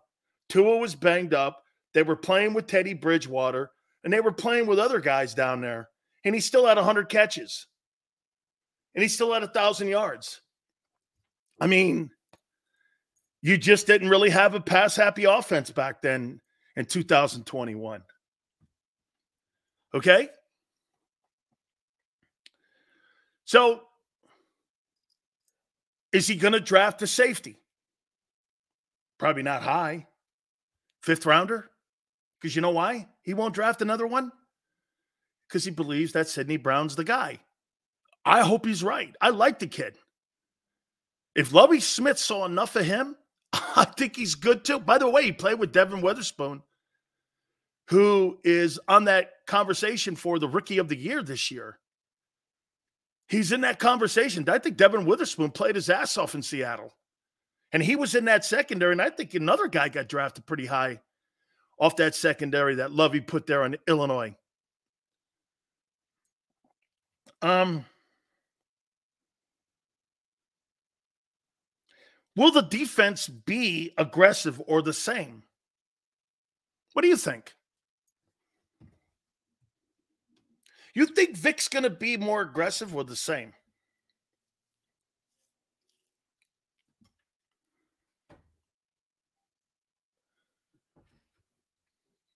Takeem says Sydney Brown is the guy, but he's injured. Aren't they always? Lime. So you got Sydney Brown injured and you got Nakobe. Sounds like it's working. Um, you think it's more aggressive? I can't sit here and say on February 2nd it won't be. I don't know. Okay? I, I don't know. Okay, I, I don't. He'll be better than Patricia. that I'm pretty sure he will be. Barb goes maybe the same results maybe the same, but better results. You have to get more depth to get those results. Can't be worse than 12 yards off the ball. Kudos to you, senor. Very well put. Here's another one. Why is Howie getting a pass? Is he part of the collapse? I haven't heard that. He's part of the collapse too. He don't like to go in that boat and in that room. No, no, it's their because again, let's do this and go back again. Hey, it's not Brian Johnson's fault. Hey, it's not Sean Desai's fault. Hey, it's none of those fault. It's my fault. Yet the coaches that were fired were the assistants who the head coach says it wasn't their fault. But then the coach turns around and survives. It contradicts itself. The head coach said it's not the coach's faults all year long and lied to you for six months. And then the two guys that get whacked are the assistants and he survives. How's that possible? How is that possible? It, it completely contradicts itself.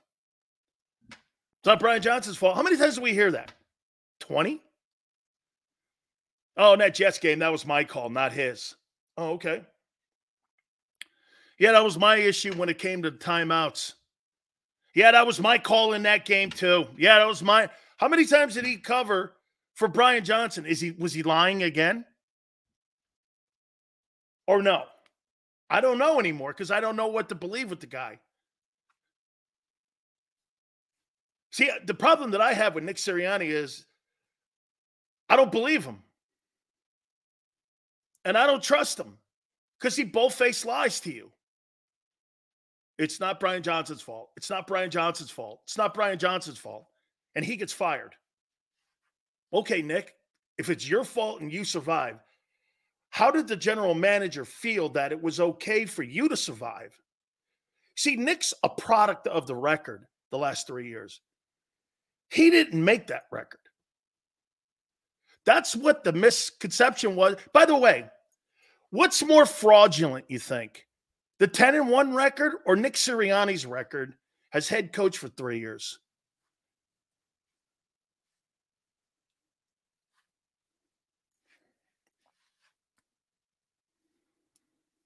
No coach with a record like that has to fight for his job, does he? Coaches that win four games fight for their jobs. Not coaches that have won and been to a Super Bowl fight for their jobs. What does that tell you? Even the owners and the general manager doesn't look at him and go, this guy had to fight for his job. You fought for your job and you're the best coach in the NFC East. Really? How's that work? How in the world does that work? If you're the best coach in the NFC East, you're the best coach in the NFC East, and you're fighting for your job. How? God, you guys are strange people, man. And you'll believe anything that's told to you. Well, look at his record, Sills. Dude, you're trying to tell me you think he's a better coach than Brian Daboll. Brian Daboll beat you with Tyrod Taylor. You think Nick Sirianni's putting a game plan together for Tyrod Taylor to beat you? Come on, man. How many people think that Nick Sirianni can coach Tyrod Taylor to a win? Come on, man. Or Tommy DeVito to a win.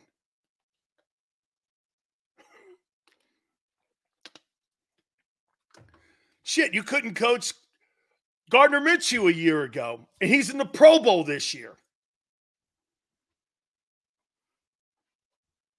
Come on, man. Here's another question.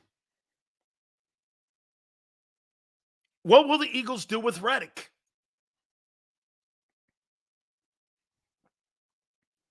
What are you going to do with Reddick? You going to keep him? You going to keep him? How are you going to play him? Going to drop his ass in coverage too? You're going to blitz him? Or are you going to do something that Jim Johnson did with Hugh Douglas? Actually, make a position for the guy that's conducive for the guy's strengths. What are you going to do? What are you going to do with him? Makes no sense. Just to keep him But then again, you don't have anybody rushing the passer. See, this is what I say to you about your guy and his record. You guys look at that record and don't look at championships, and that's why you've got one title in 30 years. Because you guys look at the consolation prize as a big deal.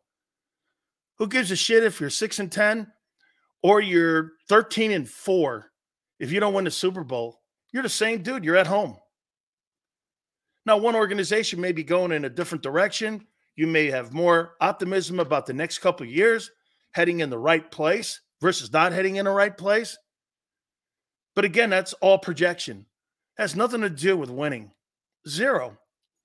Whether you're whether you're seriously, man, whether you're seven and ten or ten and seven, you're still home. You're still home. Hey, you know what's funny? The Philadelphia Eagles have the same record that the Chiefs have. We're the Chiefs. Fighting for another title. Getting ready to put another Lombardi trophy. Shit, let me see what Andy Reid has done already. How many Lamar Hunt trophies? By the way, the original owner of the Kansas City Chiefs, the AFC championship trophies named after him. So he's brought to Kansas City one, two, three, four Lamar Hunt trophies to Kansas City and a Lombardi and two Lombardi trophies. Damn. And he's going for a third.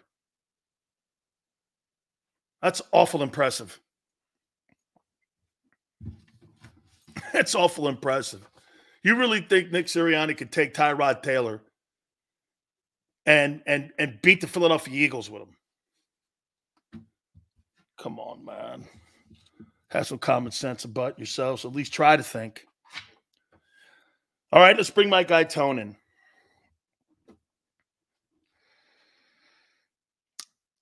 Tone, how you doing, my friend?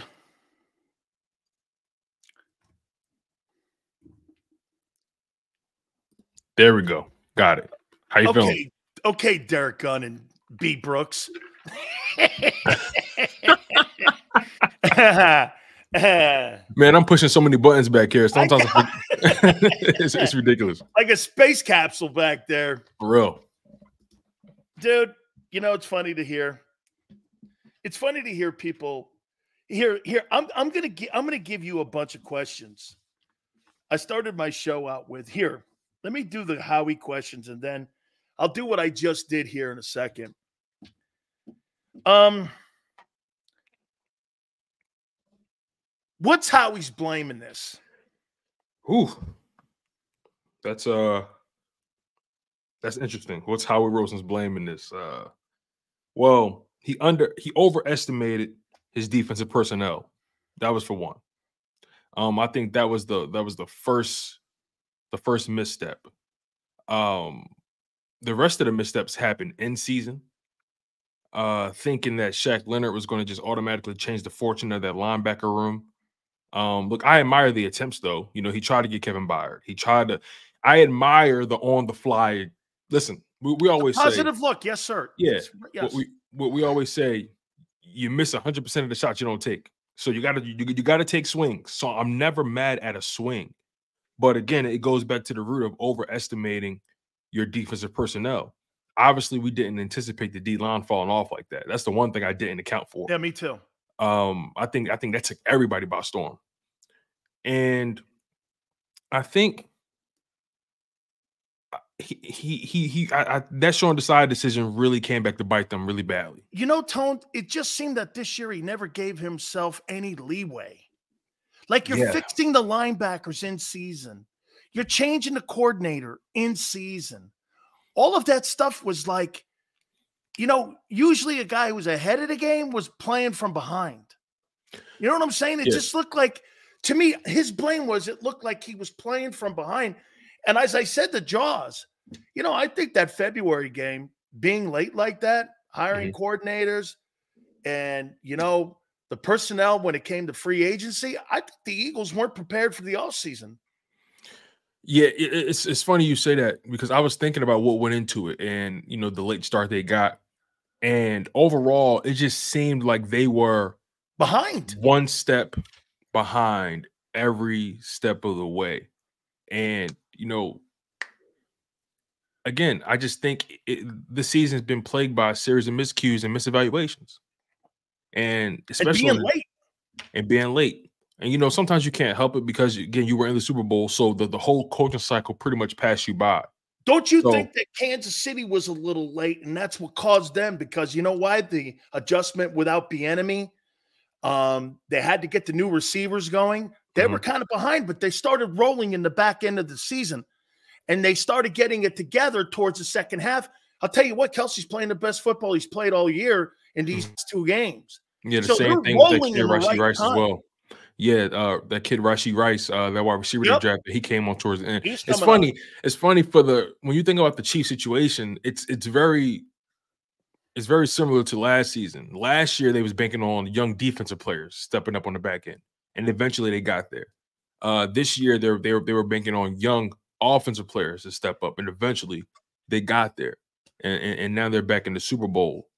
Um, one thing I respect about the Chiefs organization that I wish the Philadelphia Eagles did more of is throwing their young people into the fire early. The, uh, the, I don't know what it is about the Philadelphia Eagles. I think 15 um, gives you that.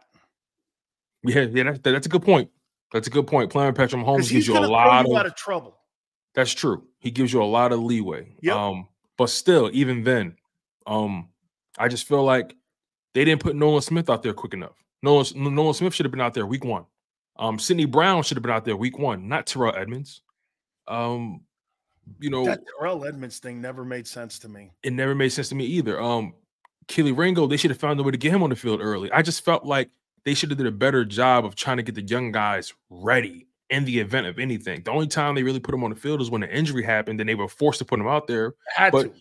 But like that doesn't to me, if I'm a player, that doesn't signify you trust me. That means That's that you're not player development either. Right. You're just putting me out there because you, you need, need you, you need the body. Yeah. But when you put me out there, if I'm a player and you put me out there early, day one, you get me some reps. That tells me, okay, yep. you're trying to get me going. You're trying, you trust trying me. to develop me. You know what I mean? I didn't get a sense of that.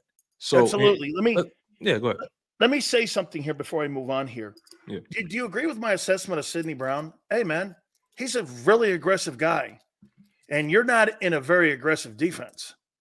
You know, you're you're talking about an aggressive guy who aggressively tackles, he aggressively runs to the ball. He's an aggressive football player. Right. And that's not really what the, it, it's control and contain kind of defense that Vic is. So I mean, does is he going to fit? That's one thing you got to keep an eye on because not every player fits, Tone. Hmm. We may like the player, and I do, but does he fit what they're asking him to do? It's a fair question. Um, what I what I'll say to retort to that is, um, Vic Fangio's been in the league for as long as he has for a reason, and that's because he's shown an ability to adapt and you know revamp what everybody's been trying to copy. I believe you. Um, and so I say that to say oh. I think he would be able to find a place for a guy like Sydney Brown in his offense, you know, and also look, the Eagles got to get younger on the back end anyway. They got to yep. get younger. They got to get more athletic. So I think a guy like Sydney Brown, that that should be par for the course. That mentality should be par for the course. Again, I think a guy like Vic Fangio, with his, you know, with his skill set, with his experience, he should have no problem being able to mold Sydney Brown to the player he needs him to be. How about this one? Will Kellen Moore maximize Hurts's ability? That's something I think about often. Um, here's my thing about that because I speak about it all the time. As much as I love Jalen Hurts' current skill set, I think it's about time he starts expanding it, start adding on to it, um, start to step, you know, start to reestablish that pocket presence. Did he make to, that um, leap this year on the, on the attempt to expand? Um, I'll say this: it, it, the results weren't what you wanted, though, Tone. But he did. He, I'll he say this: leap to another part of the game that wasn't him, really. I I, I get what you're saying. I, I, I'll I'll say this: he threw the ball more, right? And and was just as accurate. he was he he was just as accurate. Now, obviously, the turnovers are an issue, but when I see a guy with a lot of turnovers and then I see a 70% completion percentage like a Josh Allen, or if I see a 65% completion, completion percentage like a Jalen Hurts, I'm not saying, oh, they're not accurate. I'm saying, oh, they got to make better decisions. Yes. So that's so I think the decision making was off this year. The accuracy was still um above league average. Um, so when it comes to Kellen Moore, um, I'm looking to Kellen Moore to um help Jalen Hurts be more comfortable in that pocket, really utilize the entire football field. If you look at Jalen Hurts' pass chart from that playoff game against the Buccaneers, he threw maybe one or two passes in the you know in between the uh, numbers. Hmm. Other than that, all his passes were on the boundary. That tells me that he's not comfortable. Period. If he was comfortable throwing those passes, he would throw them, right? He doesn't. See, he's not comfortable throwing across the I middle. he's not comfortable because he, he doesn't see the middle of the field. Do you think now, now? Now let me ask you this: We don't really talk about we don't we don't talk much about this because it's something that can't change. But do you think his height has something to do with it? No, I'm going to tell you what happened. They rushed him. Here's what they do with great quarterbacks. Right. Even Mahomes, early in their careers, they roll these guys more. Why? So you can manage half the field from one hash to the sideline. Right. You're playing against the 12th defender over here called the, the sideline. So you can make a poor throw over here, go out of bounds, and all you have is an incomplete pass. Mhm. You make that pass over the middle of the field, it's a pick in the NFL. So what they do is let let get a chance. Montana did this. Everyone, Elway did this. They all rolled a particular way that they're comfortable doing. And you're looking at half the field. And then, Tone, as you get more comfortable seeing progression reading and you're starting to see more of the field, that field opens up more and you're more comfortable because you know where to go with the ball and pre-snap reads and you know what it looks like. So to me, what they did was they went from 21 to 22 and they saw that. Then they went from 22 to 23 and they assumed that Mm. that he was going to and I think they really just didn't take into consideration this is a process. Right. Don't rush the kid. Mahomes is still being developed. Right. I'm willing to say, I'm willing to say when it comes to Jalen Hurts' development, um, as much as we look at his skill set and say, wow, you got to maximize and lean on that. If we're being completely honest with ourselves, if Jalen Hurts wants to last in his NFL and, and if he wants to really win big, he's got to win from that pocket. He does. He has to. Absolutely. And um, so so you know, bringing in Cliff Kingsbury probably would have made more sense. But does that truly take him to the next level? And I think that's probably what their mindset was with Kellen Moore. Everything that Kellen Moore does well, Jalen Hurts struggled with. And I think that's something they looked at, and they look at it as so they look, want to make him into something that they want him to be instead of what he is. You know when you when you frame it like that, it's almost it's it's it's almost as if they're being counterproductive. Like buyer's remorse. He he didn't get that money because of the player you want him to be. He got Right. that money because of the player he is. I I hear what you're saying. Um, I think also that playoff game against the Chiefs, that Super Bowl game, when they saw him dealing from the pocket like that, I felt like that gave them this this semblance of, whoa, he can do that. But why, Okay, did- let's- why was he able to do that, Tone? Because there was the threat. This last Right. year, they took the But- threat away. Right, right, right. So I think so I think the threat should never disappear because at the end of the day, his his athleticism is still his athleticism. The threat never goes away. That's but it's- maximizing. but it's okay. So it's so it's how it's being used, and I think Kellen Moore, while trying to add on to Jalen Hurts' game, I think the challenge is going to be how creative can he be to keep Jalen Hurts in a comfort zone while still growing exponentially. That's going to be the challenge. You gotta, you've got to light that thread again. Yeah, Be- dude, 22. I say this to you all the time. The thing that stuck out to me the most, holy cow, that guy on third and 11, he's getting that.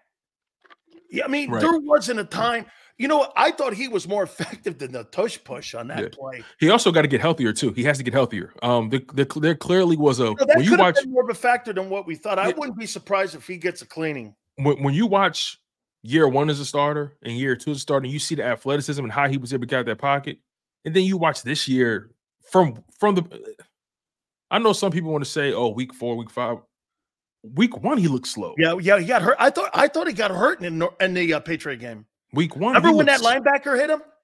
I, I, I- yeah. I, I thought he got. I remember it was low hit on his knee. I thought Yeah. he got hit in that game, and that may have started tenderizing him for the Jet game. he looked slow in week one.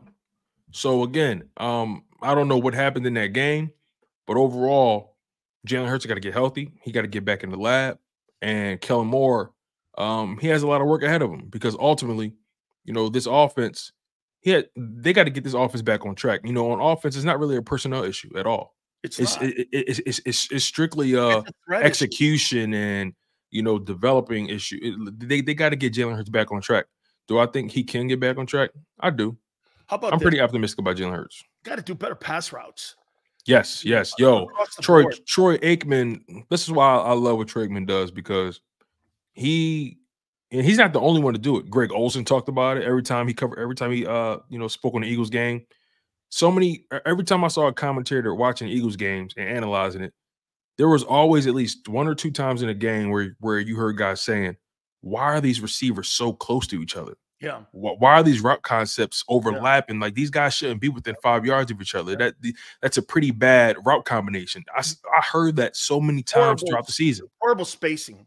Yes, yes. If you want, if, if you want to look at it from a basketball perspective, it was horrible spacing. It's just there, there, wasn't a there. It was confusion, and maybe that's one of the reasons why he couldn't read some of those patterns because they had multiple guys in multiple positions at the same time. That's a good point. That's a good You know, point. I maybe mean, maybe maybe, maybe he couldn't make some of those throws. That they had tone. Think of the route concepts that they had. How many times in the game did you see multiple times when multiple Eagle receivers We're in the same spot. place? Yes. and he's looking at that, and you're sitting back there. Again, it becomes confusing for the receivers and the quarterback because you're making split decision decisions. So, to me, I thought the uh, poor spacing, the route concepts, the route trees. I just thought it was one-on-one basketball when I Mm. was watching that. Yeah, no, yeah, a, a lot, a lot of isolation. Like you saw too often, we saw Jalen Hurts drop back, standing there for like three, four, five seconds, trying to direct traffic, trying to clear some space. Too often we saw that, and and I- and I don't bring that up to take the onus off of Jalen Hurts. Jalen Hurts No. has a lot to clean up, has a lot to clean up. You know, going from the 2023 season Yeah, to the but the 2024 least of my off season. But I, but I look at that offense and I say they didn't do him any favors. Again, I felt like he was looking at that offense when they was running plays, saying like, "Why are they so close? How can I make a play? Uh, how can I make a pass to a guy who looks open, but then we got another receiver within five yards, and I got two, two or three defenders within arm's reach? I mean, how can I, how can I really make that throw? So again, um, I'm not making excuses for him. He has a lot to do on his own, but also the coaches. Um, I we need to see what Kellen Moore can do to shake things up. Now, these are kind of questions that I would ask Howie, and I'm asking you. Okay, I'll I'll Um, pretend to be uh Howie right now. I'll put my go- I'll put my crown on. I'll wear my cape. You know, right, simple. my, Here's the my, my gold chalice. Here's the simplest one I could possibly. Oh, and you can uh, put your size four shoes on. okay. Hey, and by the do it. way, you know, they don't really make suits for guys like you, guy. You got to like kind of go to the little kid section. The you know, children's place is that what it's called? The children's place. yeah, the children's place where you get kind of like a matching jacket and pair of pants and Right. a pair of slip-on PF flyers. You don't even know what they are, but that's all right. Oh, I know what PF fly. I know, I know what PF flyers are. Oh I know man, what I loved them shoes when I was a kid, man. Here's a question. Okay, what led to the collapse, Howie? Hmm. Well, I did everything I could to give Nick Sirianni the pieces. That's something he'll say. So it's he'll, coach. he'll he'll flip it fast. He'll flip it fast. Oh, he's a lawyer. You know what how he I does. am? He's a lawyer. Well, then, Mr. Mr. Roseman, how come I heard the coach all year long go, don't blame Brian Johnson. Don't blame Brian Johnson. Don't blame Brian Johnson. Don't blame Nick. Don't blame Sean Desai. Don't blame Sean Desai. How come those guys got fired and you survived? Man, that's a hell. That's a hell of a question, Mister Sileo. I'm so glad. I'm, I'm so glad you asked that. I'm going to have Are to you? redirect. I'm going to have to redirect that to our guy Bob Lang to see what he says. Um, so let me stop playing before I, before I what- get us in, what- why do you- before I get us why- in trouble. Honestly, what led to the collapse, Tone? All right, you know, I think honestly, um, they they were ill prepared and they were on borrowed time. They were ill prepared they were on borrowed time, and Howie Roseman overestimated the personnel on defense. I think those are the three things that went wrong. And um, whatever And the inexperience of offense in the coordinating position. yeah, whatever whatever magic Nick Sirianni had left, that thing ran out after 10 and 1, baby. Ran out. Me, He's 13 and 12 as a guy who's in charge of that offense. When you put it that, you know, when you brought that up at the last minute yesterday, I was kind of upset because I'm like, I wanted you to expand on that because Okay, well, because because no, because that's a that's a very interesting way to look at it. away at two and five. And last year he was, as he said, it was his offense. So he gets the 11 and seven. Well, if you put it that way, he's 13 and 12 running the offense. He ain't that bullshit record that people throw out there and call him the best coach in the NFC East. He's 13 and 12. I think He's one game over 500 running the offense. when you when you frame it that way, that makes you look at him a lot differently. Because when he's been That's in why he was almost fired. when you, you- all year he kept saying, "This is my offense. This is my offense. This is my offense." I'm like, okay, all right, here's your offense. All right, okay, all right. Okay. The, you, you kept saying something all year. You're going to bury yourself, guy. You keep going there. Listen, Well, I bury kept saying yourself, all keep year. Going he- there. I'm like, all right, okay. Oh no, he kept lighting himself on fire all week long doing that stuff. And guess what? Somehow, some way, Howie Roseman and Jeffrey Lurie, you know, put you know put him out, and Brian Johnson had to wear that. So right now, Brian Johnson is without a job in the NFL, and you know Nick we killed we killed him all year, and Nick Sirianni survives the chopping block. You fired his whole staff, and Nick's still here. I don't. I've never seen that before. Here's another one. Why are they so confident in Nick? The same reason they convince themselves that they're confident in anything else. They bring up the record. That's what they do. You know, when you're when you're not being truthful, you you know you fall on you fall on um Deaf ears? you choose a low hanging fruit, and it's like, yeah, it's easy for me to say, oh, well, I mean, you know, you know, three um back to back seasons of uh, making the playoffs, and you know um, that record and all that kind of stuff. And my thing is, if you ask the Philadelphia Eagles, if you ask them, they don't even think that's a product of Nick Sirianni. They fired a Super Bowl when they had coach. What makes you think they think a coach has value? How could a coach win? How could a coach win 11 ball games and his entire staff fired, and he's on the hot seat? It's it contradicts itself. It don't make sense. It, it, it, contradicts itself when the assistant coaches get fired, the head coach survives, he wins 11 games, and you change the entire coaching staff out. Doesn't that contradict a, a, a successful coach? I've never What seen guy do anything you like know it. that has a record like that and it, that has been questioned about his leadership and direction of a football team? Can you name a guy? because if Nick had any real pull, they wouldn't have been they wouldn't have been able to fire his staff like that. They wouldn't have forced him to fire people like that. So this thing is um it's unprecedented.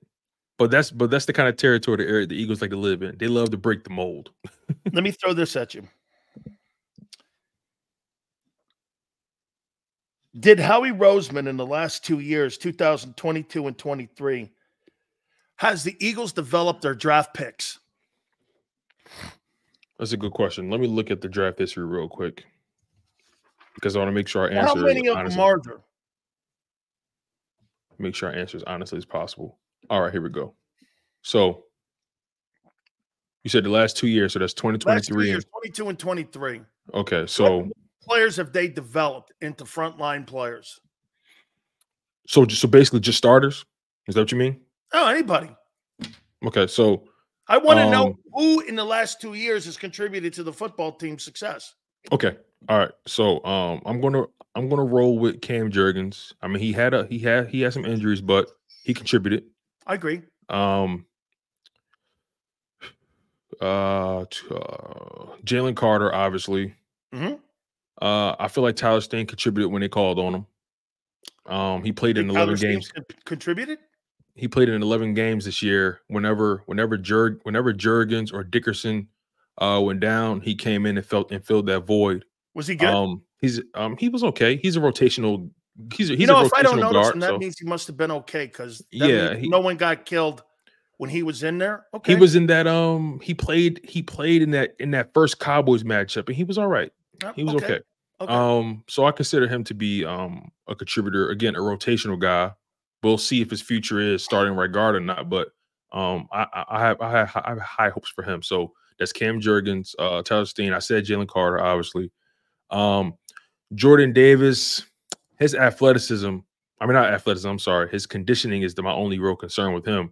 But he but regardless of how we feel, he has contributed over the past two seasons. Have you been happy with Jalen Carter as a draft pick with the Philadelphia Eagles? I have. I have, but ultimately I feel like um He's giving you half a season in two years. wait, you said Jalen Carter. You, you I talking mean, about Jordan Davis? uh, um, Jordan Davis. I'm. Okay. Yeah, no problem. Um, Jordan Davis. Uh Jordan Davis, last year I was very disappointed. He's given you eight games. And this year, yeah, he kind of has. But when I look at him though, I see a player and I say, I'm not looking at your talent.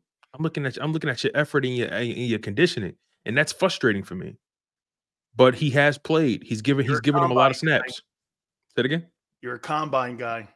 Nah, I'm not a combine guy. Well, I'm you're talking to guy. me about his athleticism, and he's Well, I'm never talking- Well, He's well, I'm talking about. Well, I'm talking about the first eight games. Like you said, he gave you Oh, eight yeah. games. He you was. know, he was the fourth. and and I saw a guy who was flying Yep. up the line of scrimmage. So Yep. I'm looking, I'm looking at that, saying, okay, what happened to that guy? So, um, you know, again, to answer your question candidly, it was I really like you said he- after that Bills rundown Yeah. Allen, man. It was like he that shot was his load. the last bit of gasoline he That was the tank. last bit of gas. Listen, from that point on, he was he was driving on four fun. flats, four flats. And he was like MIA after that, man. I mean, you even had Right. Brian Baldinger going, he should not be dressing, not playing. Yeah, so I mean- um, the guys I'm rolling with right now, as far as contributors goes, Cam Jurgens, Tyler Steen, Jalen Carter, Jordan Davis, um, Sydney Brown contributed, even though he had up and an up and down year, but he contributed. He played a lot. Um, Kelee Ringo played. guy who played on the worst secondary in the league contributed. hey, he contributed to the losses. He played. he played. You see, when you guys tell me that they're playing and you're on the tw- 32nd worst pass defense in the league, you're telling me that that's contributing. I'm looking at you going, okay. Hey, listen, you added. You, hey, listen, you added something. Oh, no, no, no. So, wait, technically, he did contribute. Oh, Sills, hey, you want to Hey. go technically, Sileo? He did contribute. He did pretty much. contribute. I mean, he had a pick did. six. You know, he contributed. He played. You know what I mean? He, he got some time in. Uh, That's funny. Ringo played on the back end. You know, but overall, though, um, I think the better question is: Are there anybody? Is there anyone that I'm? Is there anyone that I see a future with? I think that's. I think that's the that's the real question. Is there anybody I see a future with?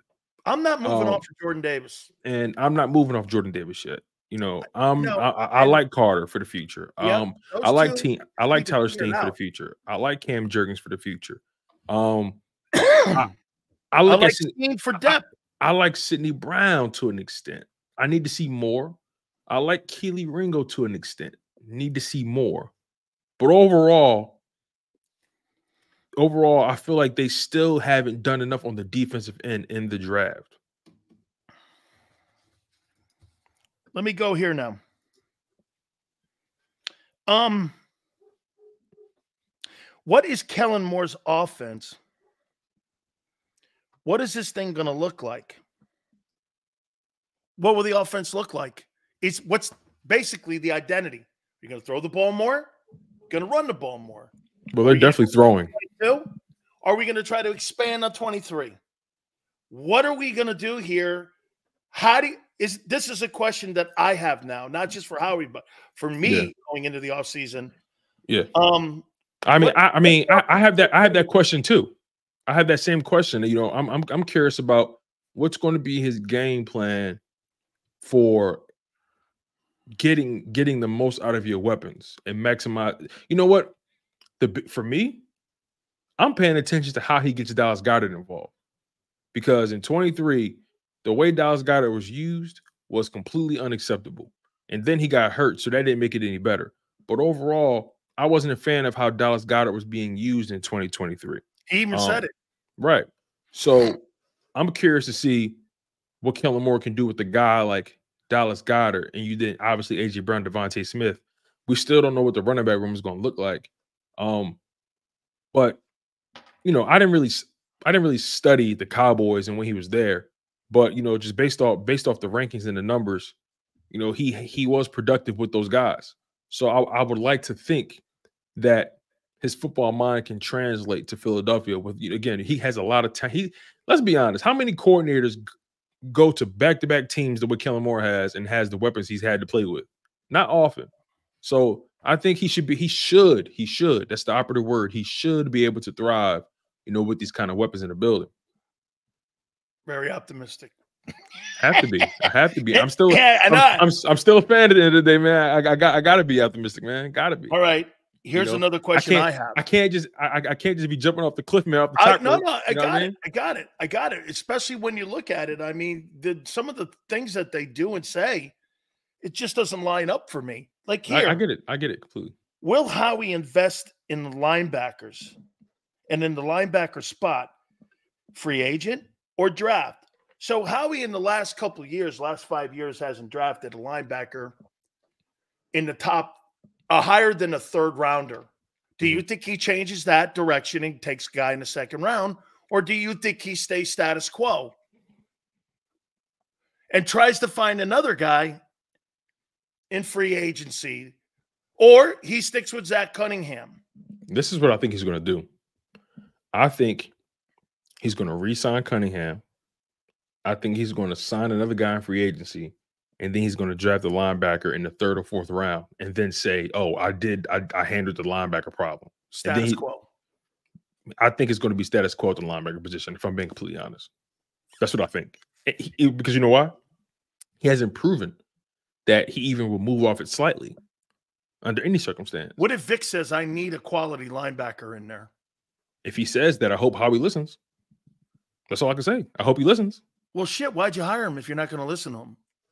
why they hire uh why, hey, why, why did they Okay, why, okay, why did they do a lot of things? Come on, Hey. so you answer, you answer your own question. Hey, you got me.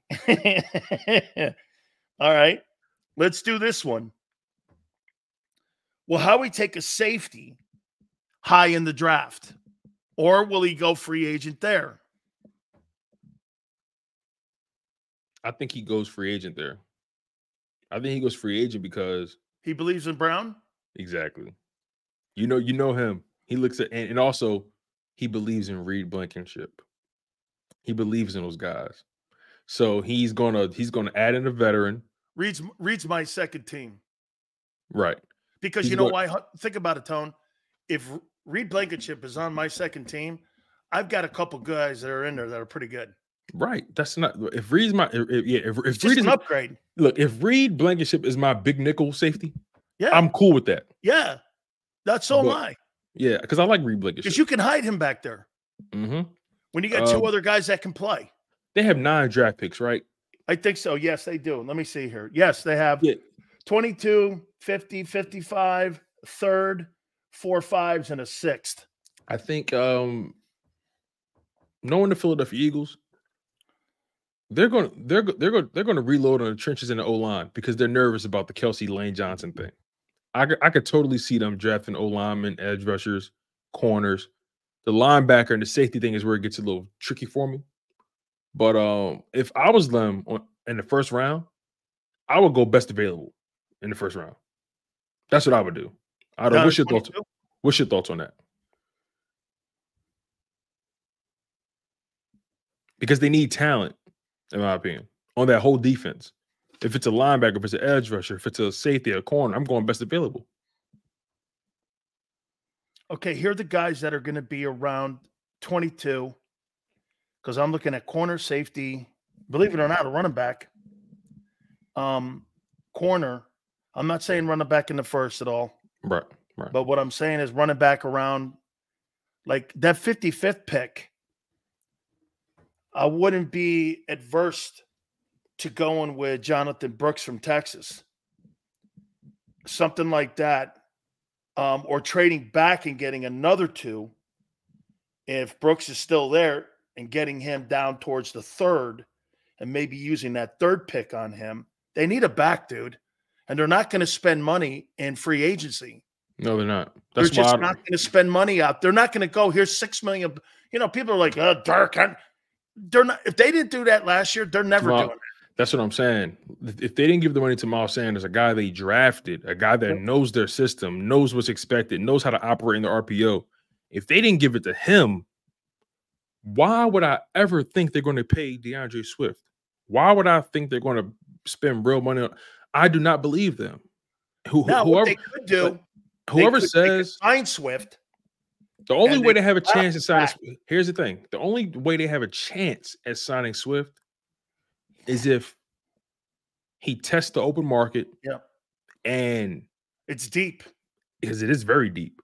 The only way they have the only way they have a chance is if they they, they let him out, they let him go out there test open market, and then if he comes back or they figure out that okay you're not getting six or five, and then they and then they settle on I don't know a two year deal. Tone, I Or- think or- he's sixth man in line.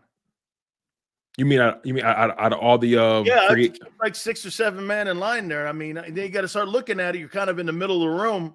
Mhm.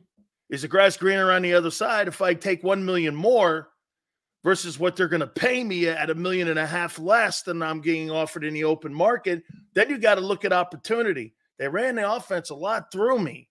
Mhm. Is my opportunity going to be somewhere else on a shittier team?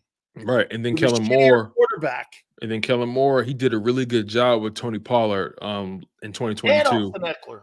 Yeah. Um, Tony Pollard had a down year under under Mike McCarthy. He was at his best. He was at his best under Kellen Moore. So maybe D'Andre Swift looks at it as maybe an opportunity, like you said, for me to continue to expand my role in this offense. It's all a possibility, but overall, um, I'm not betting on them being able to bring back D'Andre Swift. You have, if you ask me today, are they bringing are they bringing back D'Andre Swift? And no one would I know about his market value. I would say no. Uh, so, that, so I, whatever I, I think they draft the guy. Honestly, I think they draft the guy. Oh, for whatever reason, at that 22, I see Kool Aid. I see the kid from Bama there. Yeah. Um, I was look I was looking I was looking at some of his stuff and reading up on him, man. I like that guy, man. Me too. I'm sold on him. And think about If he's it. there, if he's there at 22, who he's we played against. he played against top tier dudes. Top All tier. the dudes you see in the NFL, he's covered. Hmm All those National guys, all the all, all the SEC guys, all of them. And and and me personally, I, I, And I that's put where a all lot, the wideouts are coming from now. I, I put a lot of stock in that. Now, every now and again, you have a guy that that played in Cincinnati, like a Sauce Gardner. Cor- correct. Every now and again. but you that's a what I mean? crapshoot. But but that's a crapshoot. I would much rather take my chances finding the corner in the SEC rather than where's Cincinnati, the big what is that? The uh, it, it, it, it's it was mid America. I think now they're, if I'm not mistaken, I think they're in the Big 12 or in the ACC. okay. So the conference alignment and the changing of the conference. It's a lot of movement. a- it- oh, they were in Conference USA. okay. Yeah, yeah. So overall, every now and again you find a Sauce Gardner from from a school like that, but but I'll much rather take my chances on somebody who's been guarding Correct. the best receivers. Like, like, get this: finding Jerry Rice at Mississippi Valley State. Or um Derek Stingley. Derek Stingley was in LSU. He guarded the best guy. You're gonna, you're like, like, like getting a, a guy like I said, like, like Jerry Rice at Mississippi Valley State versus recruiting in the SEC. You're gonna miss on Jerry Rice, but you know what I'm gonna do every time I need a wideout. The chances of me landing on a wideout that's going to be productive for my offense Mhm. is going to be higher because they're the top recruited kids. They play against the top flight kids in the country. They get the best coaching. Remember what you're you've got when when you're when you're going through draft analysis here, Tone. Mhm. The SEC offers just this to a kid. If you land out as a starter at any one of those 10 schools, you're getting the best coaching. Now 12, you're getting the best coaching. You're getting the best talent you're playing against. The guys you're playing with and going against in practice. Hey, can you imagine being in an Alabama practice if you're Kool Aid and you're going against DeVonta Smith as a Mhm. sophomore? I mean, and you're going against Jaylen Waddle as a sophomore. Uh-huh. And John Metchie and Jameson Williams and all those All guys. them guys, you're you're going against them, and then you turn around and play George Pickens at Georgia. Yep. I mean, Yeah. That matters to me. Yeah, I, I I hear you on that, and I'm and I'm I'm totally with you. That's why I do like that kid Kool Aid at you know at that spot. If he's there, I think I think they should take him. Like like my biggest fear is that they're going. With, my biggest fear is that the Eagles are going to overthink this draft. They're prone to do that. You think they would trade out of that pick and get more? Get this. I'll tell you what. Are, are, are you are, are you implying they trade up or trade no, back? down to get more seconds. You trade out of that one at 22, and you get two, and you get two twos Are- and a three. Are you saying that okay? a quarterback lands there at 22 that a team Hmm. is desperate for. That's interesting because the Eagles historically have done a pretty good job drafting second round and down. Yeah. But and also you're looking at it like, okay, what if the guy I want is not there? I got a better chance of landing on some quality guys in that high Yeah. second round And filling more holes that you need to fill in that back end and that linebacker. because and how he's going to feel more comfortable with threes and fours to be able to go grab them backers, and also you're more prone to reach at that and spot. you're cheaper.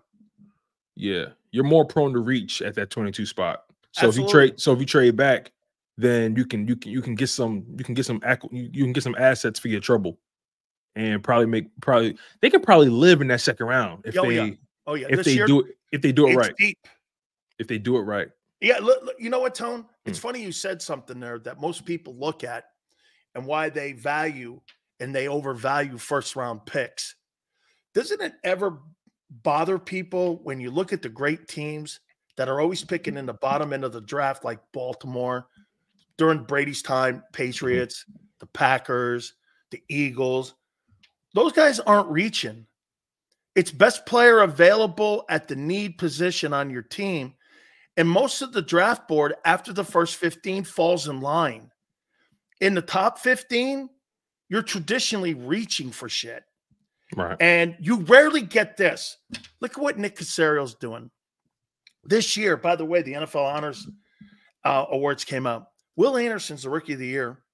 Head coach is DeMeco Ryans, and the offensive rookie of the year is CJ Stroud. Very Wow. rarely do you Back-to-back land on all seasons. of that. Back to back seasons where the same team has the Right. offensive and Jets did defensive rookie of the year. The Jets But did it they added year. coach of the year to that mix. Right. They added coach of the year to that mix. That's that's rare air.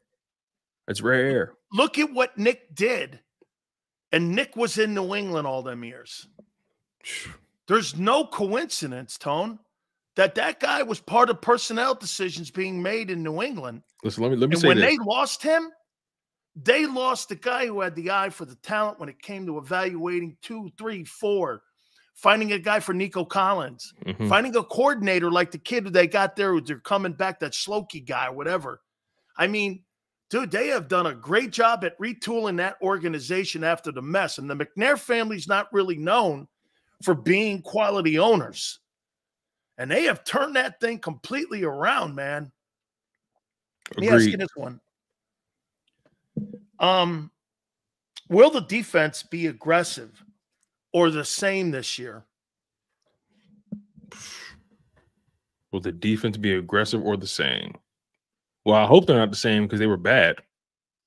But Same tech, Just- uh, but the same, same. as far as mentality goes, as far as mentality goes, let me ask you this real quick before I answer. What's historically what's been Vic Fangio's MO in terms of aggression control and versus contain. control and contain? What do the Philadelphia Eagles really want to accomplish? Control, and contain. and get home with think- your front four. Yeah, I think they're going to be more like they have in the past, control and contain. Again, remember, the one thing we didn't account for going into this season was the defensive line not showing up.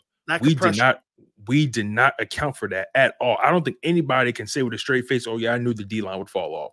No one thought that. The Eagles D line was coming into the season as being top five ranked, and when you add Jalen Carter to the mix, everybody was like, "Yo, this D line is going to be unstoppable." Well, you know, week twelve, week thirteen came in, all of a sudden they became stoppable. Um, and all and so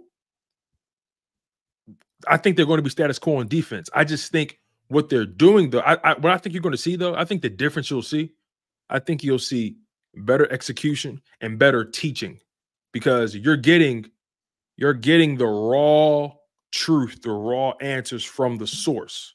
So And often, coaches. right, and, and and you have a better group of experienced guys in the building teaching these teaching these guys. So Yeah. I think I think we're going to see improved execution. We're going to see um imp- uh, improved knowledge of where they're supposed to be. It's still going to be a talent discrepancy because I don't think this is a one year fix. But at bare minimum, I think this defense should be able to go from being one of the worst to at least being ranked 15th. Martin, I like that kid from Oregon. I do. Um, is Howie getting a pass? I think he is. I think he is. He gets passes every year. He's for a guy for a guy to survive. He's he he survived Andy Reid, Chip Kelly, Doug Pederson, and now he's potentially going to survive Nick Sirianni and maybe bring another head coach in the next couple years. He's he's been getting passes all his his whole time here. The only time he got any kind of negative energy was when he got thrown in the closet. But other than that, he's been getting passes the whole time. You know, you, what GM you know, he like Nick Howie Roseman is one of the most unprecedented, oh, the most unprecedented things we've seen in the in sports. There, there, I can't think of any general manager that survives the amount of head coaches that he has survived. No, Yale, I don't want to fire Lurie. I mean, I don't want to fire. Um, That's not what this conversation I is about. His job title redefined. I want, I- I want more checks and balances for him. Yeah, That's what I want. I want his job title redefined. Stick with the books. Stay out of the coach's room. No, he's he he's know your role. You know what he's he does? great Tony? He doesn't know his role. Yeah, I think I think Jeffrey Lurie has given him too much leeway to the point where he thinks he actually knows football. And um, I'm not sitting here saying I'm a savant in football, no, but I know my limitations as a person. When it comes when it comes to Howie Roseman, he's great at building contracts. He's great at you know keeping your books in order. He's great. he's really good at pro personnel. he's great at pro, uh, pro personnel. Uh, He he knows how to he knows how to find um disgruntled players looking for a new place. He he knows how to navigate that that wire where you have young players on the final year of their rookie deal or players on the final year whatever deal they're on. He knows how to manipulate those kind of situations. He's he's a very good deal maker trader. He's the kind of guy I send in with the mafioso and say, "Listen, make this deal happen." He's that kind of guy. But I'm not sending him in to keep an eye out for, you know, the feds. You know what I mean? I don't I, I don't trust him to find a rat, but I trust him to make sure the books are in order. You get what I'm saying? yeah, so totally, man. so I just don't I don't trust him with personnel. I just don't trust him with the with the uh, with the drafting. I don't. Not not not consistent. He's hasn't he hasn't been a consistent winner in the draft. And drafting is hard to do in and of itself. I will admit that. It's not, it, it's not an exact science. But damn it, he makes it look like it's easier than what it actually is. I like this guy's comment here. I never thought about that before I asked you the last question here. Where is it? Let me find it. Where is it? This guy right here, um, this guy help with hundred percent. Have you ever seen Brett? Have you ever seen Brett Veach on TV? That's a good point. Never. Have you ever seen him in public with the Chiefs? Only time I see him is when they're in the Super Bowl. Right. I, I don't. I don't hear him. I don't see him. He's never out front. That's a, it's a great point. He's he's never. I've never. I don't even know what he looks like. That's a great point, main thing. That's a, it's, it's- it's a great point. Hey, I have you. I I know you know what he looks like because he was he was in uh, Philly a little bit there with Andy. But for me, Tone, I've never. I don't. I have no idea what he looks like. Only listen, the only way, the only reason I know what he looks like is because I saw him at the last Super Bowl when they won. That's the only reason I know what he looks like. Only reason. You know, the chief And there's owner. Howie front and center waving. Uh, hey, I- Listen. I, did see a lot of waving this year, but last year I saw him at the Indianapolis locker room saying, "Here's my guys. Here's my wait." You know, can pat the Yeah. coach on the back Look, of the I- neck. One thing I will say though, I do appreciate that Jeffrey Lurie doesn't. He, he's not always being seen like like Jerry Jones is. Yeah. I, I do appreciate that part. Now I need Howie Roseman to kind of take a page out of that book and just fall back. Now I know mid-season you don't see him, but except for after games, shaking hands, smacking asses. On the side, You know what I'm saying? on, on the sidelines or in the box with the binoculars, looking at Kenny Pickett. Uh-huh. Jesus, that frightens me. You want to know the one time you, you want to know the first time I saw one John time I Lynch? see him with binoculars, he's looking at Kenny Pickett. I went, okay, that's Listen all I need to know. Listen to this. You want to know the first time I saw? Well, I knew what John Lynch looked like, but you want you want to know the first time I saw him last year? Huh. The first time I saw him is when they smacked the hell out of the Eagles in Philly. He made sure he came out the box for that. he, he was walking on the sideline, slapping hands, giving handshakes like they won the Super Bowl. Oh man, John Lynch is a hell of a GM. He is, man. He done a nice job there. I got one last question for you.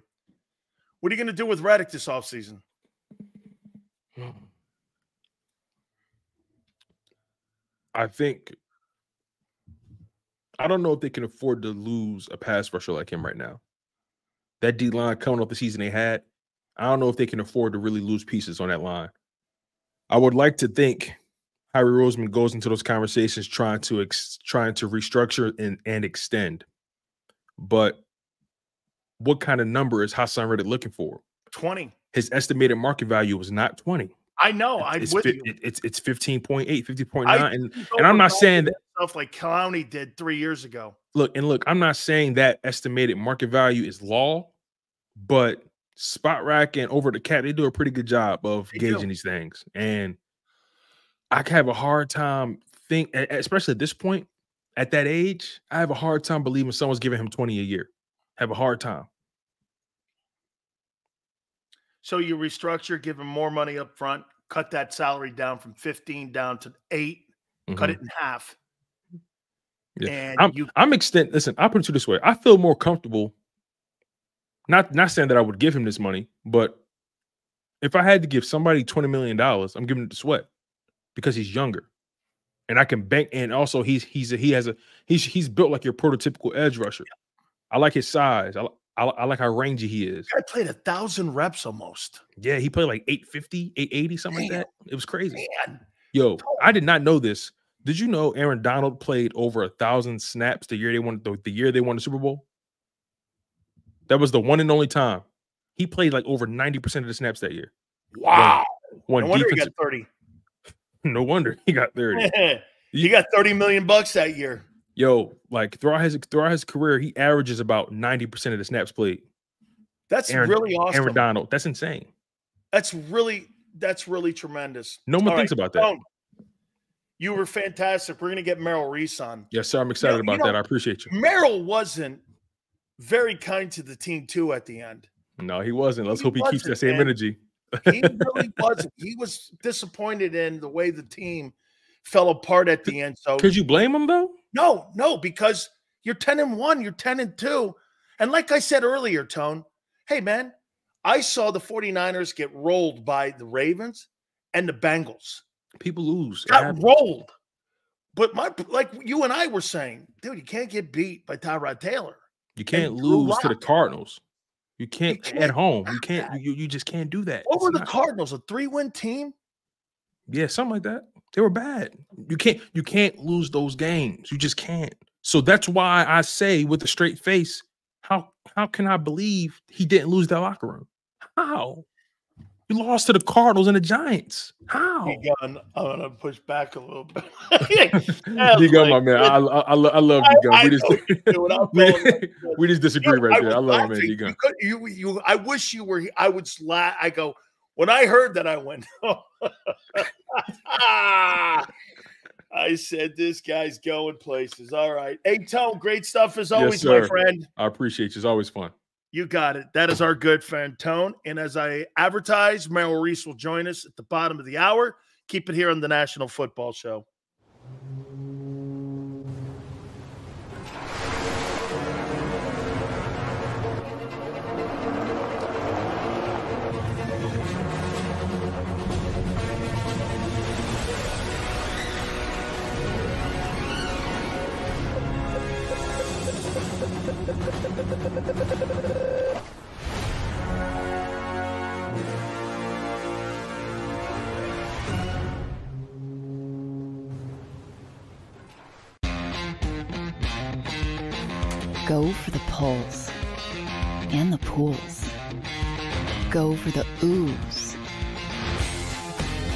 Ahs. Go for the bubbles and the bubbly. Go for the story and the stories. Go for the win. Go to Ocean Casino Resort. Book your trip at theoceanac.com.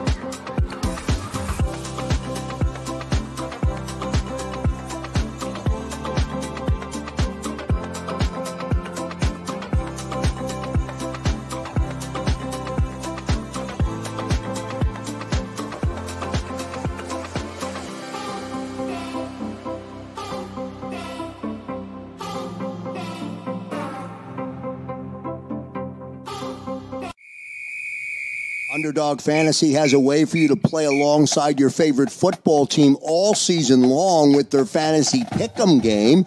You pick between two to five players, select whether they'll go higher or lower on one of their stats, then do what you usually do on a Sunday watch the games. You can win up to 20 times your money in a single game by going five for five. It's a fantasy game, and the sports betting show wants you to get involved. Go to UnderdogFantasy.com. When you sign up, use the promo code WIN, and Underdog will double your first deposit up to $100. That's UnderdogFantasy.com. Use the promo code WIN. Go for the win. Go to Ocean Casino Resort. Book your trip at theoceanac.com. E A G L E S. Eagles.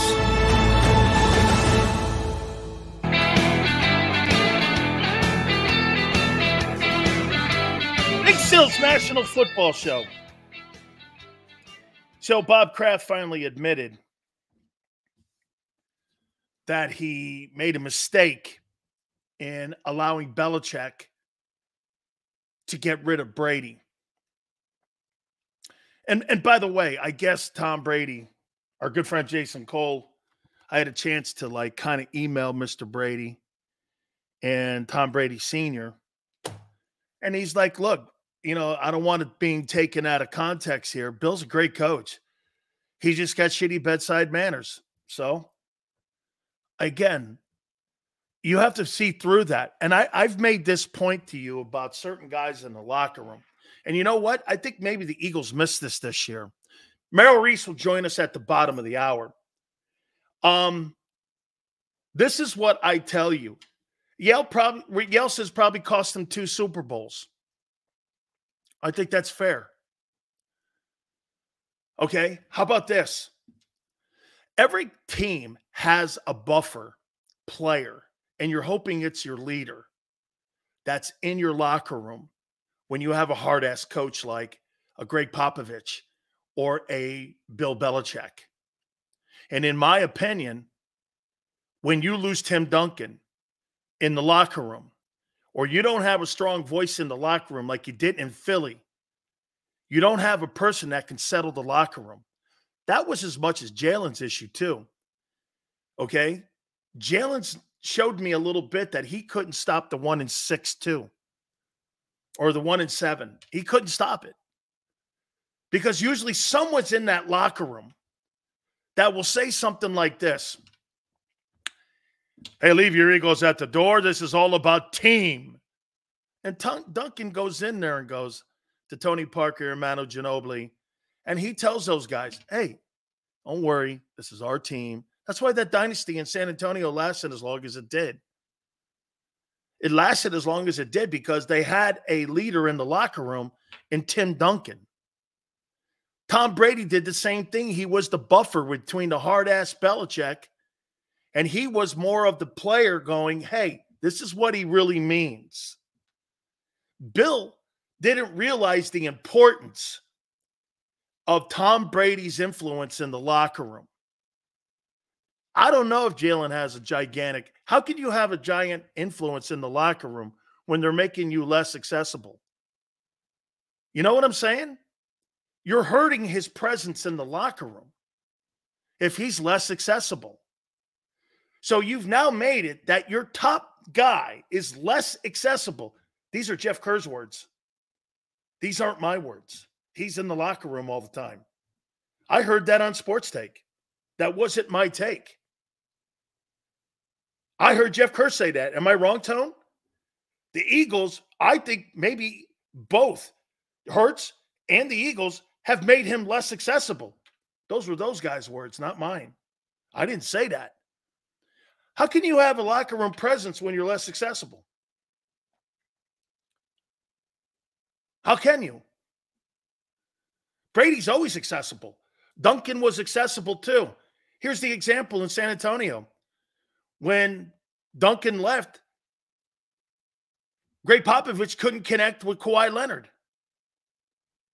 He didn't know how to compete. He didn't know how to communicate with him.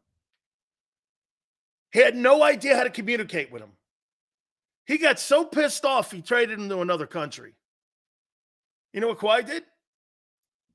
Fuck it. I just won a championship in Toronto. Made him look like a jackass for not being able to deal with a guy who won you an MVP award and helped you win a championship in San Antonio. You know, when, when you have those kind of coaches like that, and you got players in your locker room that know how to calm the environment, no matter what your coach is, you can have a hard ass coach. I'll say it again. I think what they did in New England was they underestimated the importance of Brady's. Um, I, I, think they underestimated Brady's presence in that locker room, and that's a quarterback's responsibility too, especially when you're the high paid guy. All right. We, we had Ron Jaworski on with us earlier, and he looked at the whole offseason here, and he thinks the Eagles have hired some good coordinators here.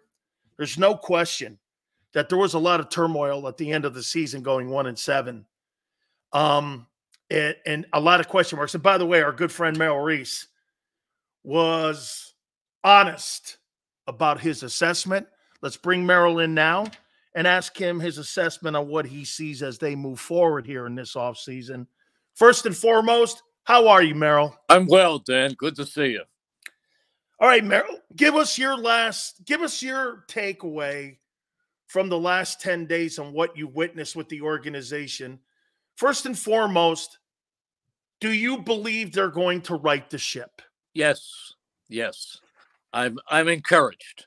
Uh, I, I really am encouraged. I think they they two, took two very big steps in adding Vic Fangio and Kellen Moore. I think those are are very positive steps. Would you agree, Merrill, that for you, and even Angelo said this a couple days ago, that you that he, Angelo doesn't have a concern with Jalen Hurts at all. He thinks that's the one thing that you can count on the most when it comes to righting the ship and turning what happened at the end of the season down. Are you concerned about him at all, Merrill? Nope. Or are you not concerned about him? Not concerned at all. Not in the least. I think he's one of the the great young quarterbacks in this league. I think he will only continue to elevate his play. I think it's it's a lot about putting him in the right offense, and I thought the offense as a whole last year deteriorate, deteriorated in those last seven games. Well, Merrill, I'll ask you then what do you think was the reason for the collapse? A lot of things. I, I think we ignored the fact that they were sliding by early in the season. And I use the word resilience often during those first 11 games, how they kept fighting their way back and how they, they knew how to win. And they lost that. They lost that. And when they were beaten by San Francisco, if you remember that game, the very beginning of the game, they marched right downfield and only came away with three points. And then they marched, and, and then they they absolutely stymied the 49ers, marched downfield, but again, only came away from with three points. And from that point on, the field completely tilted. And they were going uphill and the Niners were going downhill, and it wasn't even a game. And I think the the Niners showed some things. They they created a template, and everybody else just piled on. Here, here, here's my here's my concern about Nick being back, and you can tell me if you think I'm wrong on this. All year long, um, Merrill, all year long, he kept saying, "Don't blame Brian. Don't blame. Don't blame Brian. Don't blame Brian. Don't blame Sean. Don't blame Sean.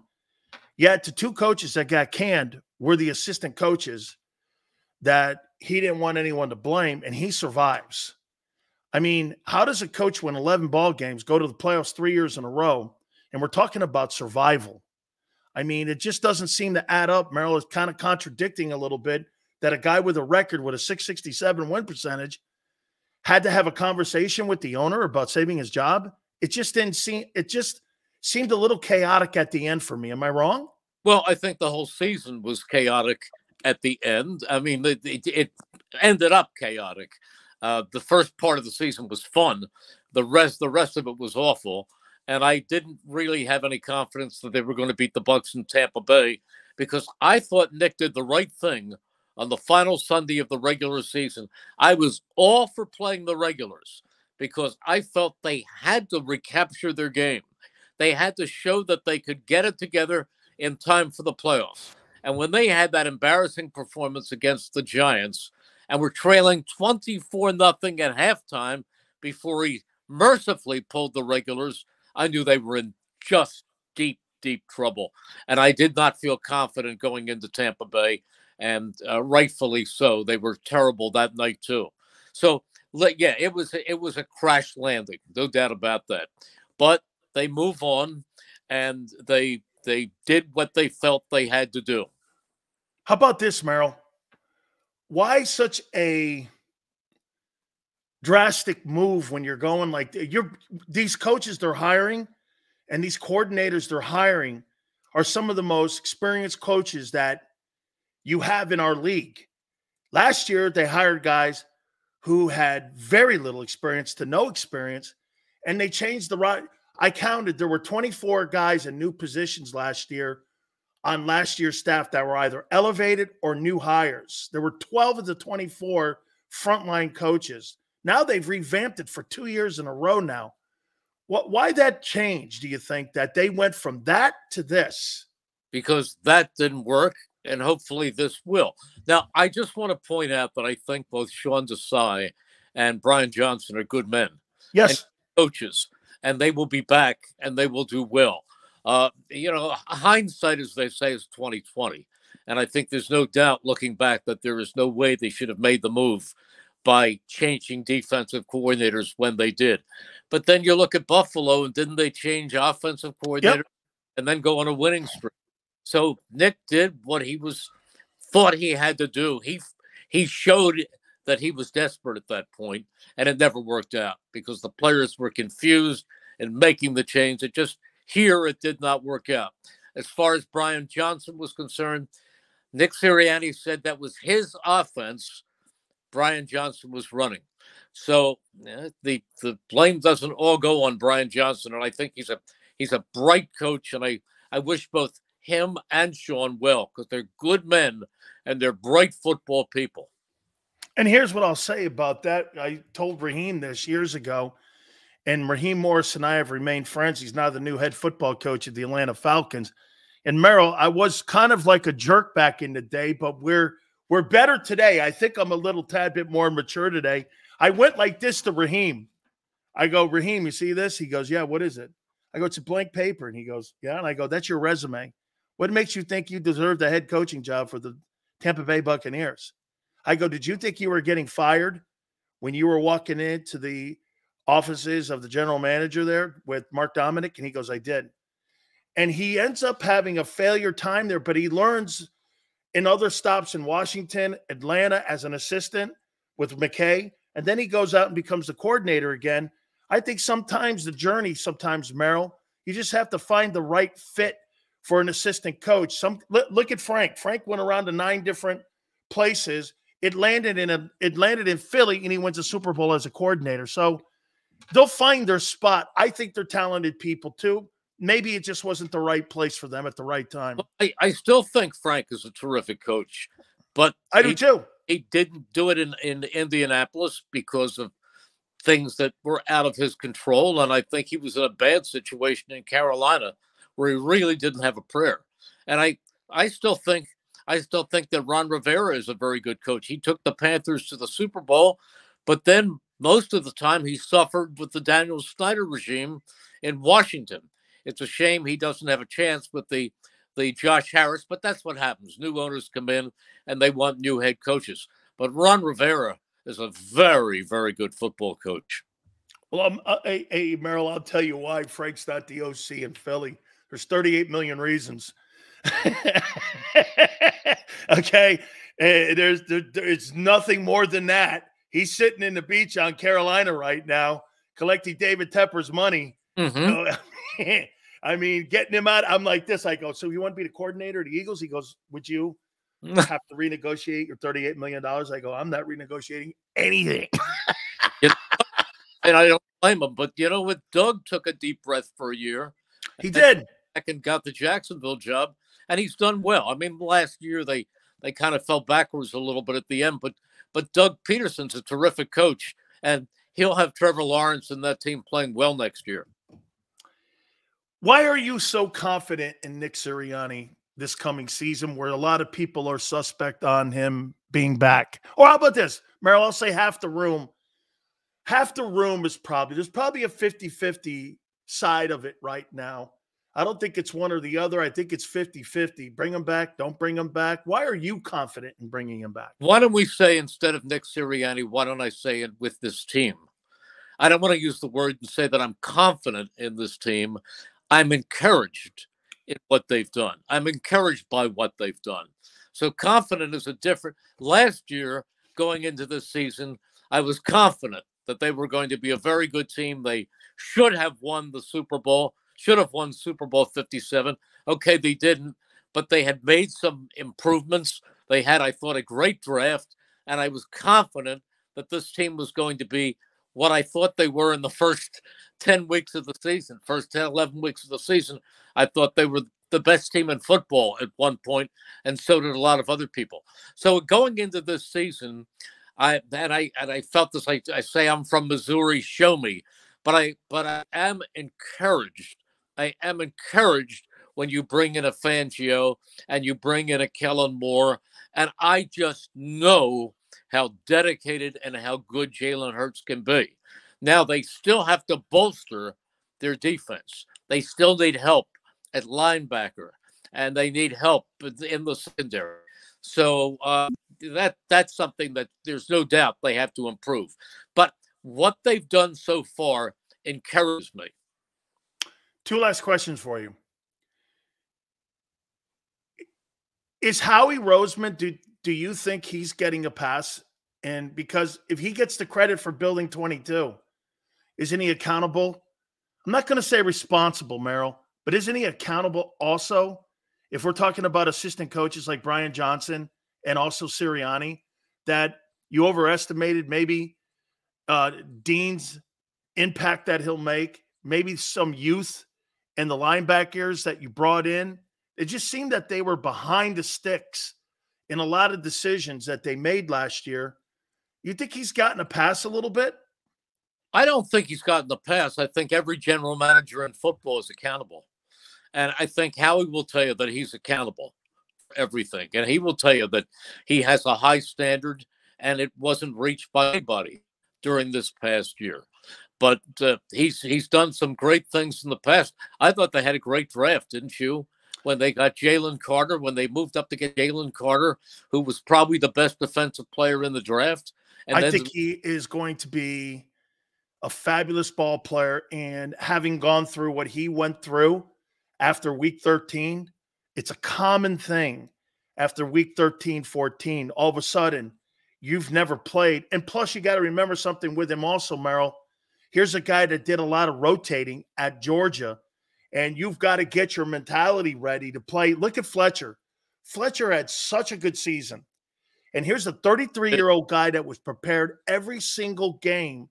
Even Milton Williams, I think, is a really fine ball player. And for me, those guys know how to prepare themselves for a long 17 game season. I think both Davis and Carter have to understand it's not just about talent, it's about preparation as well. Right. And that that's why I think you bring Fletcher Cox back or you do everything you can because the importance of having someone like that in the locker room and around those young guys, especially with the equity you've invested, I think he's important to the growth of those guys. Dan, let me ask you, uh, Fangio's a 30 defense, right? That's his, yeah. his MO. So wouldn't Jordan Davis fit well as a nose tackle? He will, and but what they'll do, he's a con, he's a controlling, contained coach. You're going to see a lot of nickel with him, which means seventy percent of the time you're going to see probably four down. So, but what they'll do on first and second, I don't know if they're going to line him up head over the nose or they're going to shade him on a tilt, or if they're going to play two tackles over the tackles, or maybe play again with a five front look and a 50 look. I mean, he one thing he did in Miami that was great last year, he improved the sack total and broke records.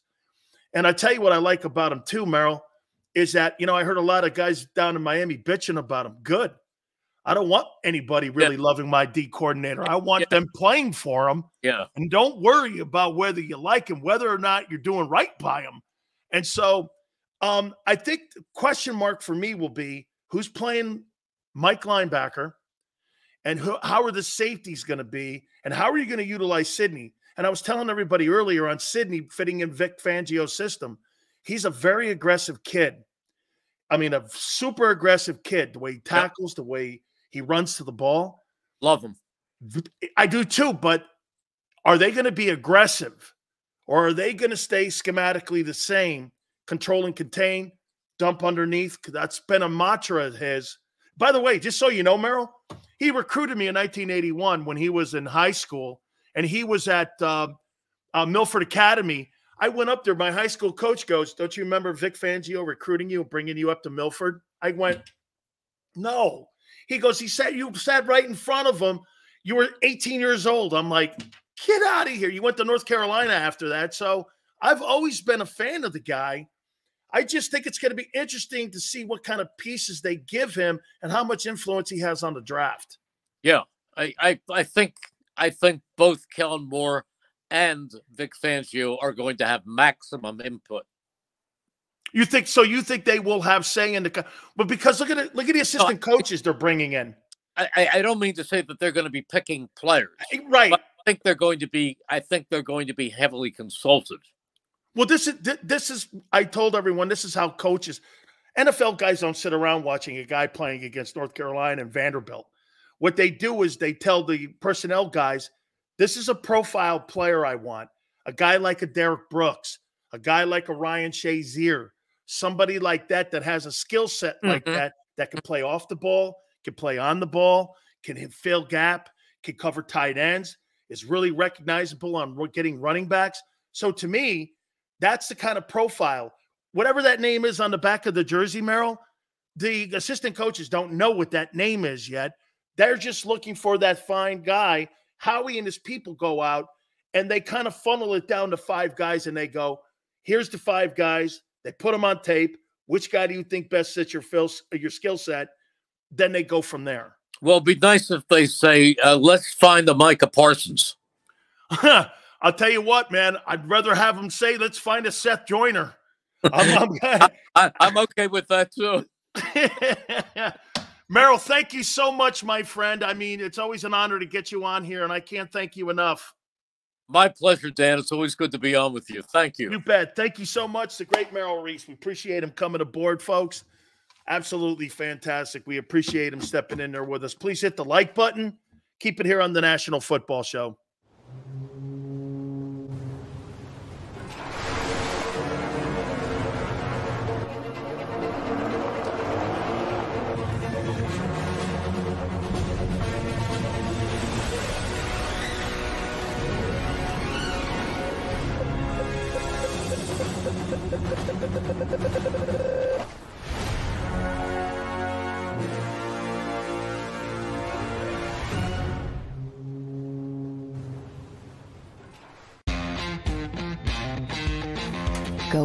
Pulls and the pools.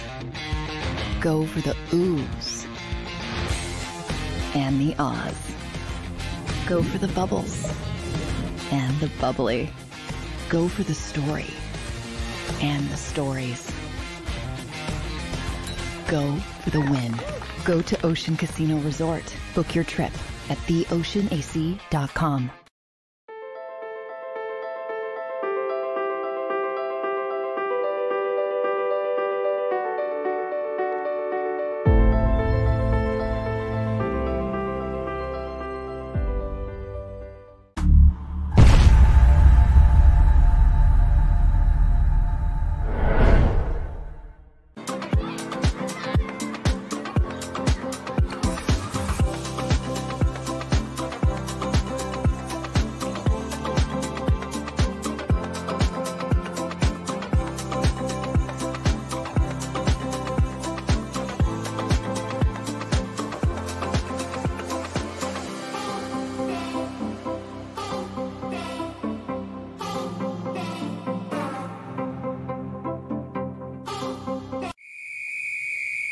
Underdog Fantasy has a way for you to play alongside your favorite football team all season long with their fantasy pick'em game. You pick between two to five players, select whether they'll go higher or lower on one of their stats, then do what you usually do on a Sunday watch the games.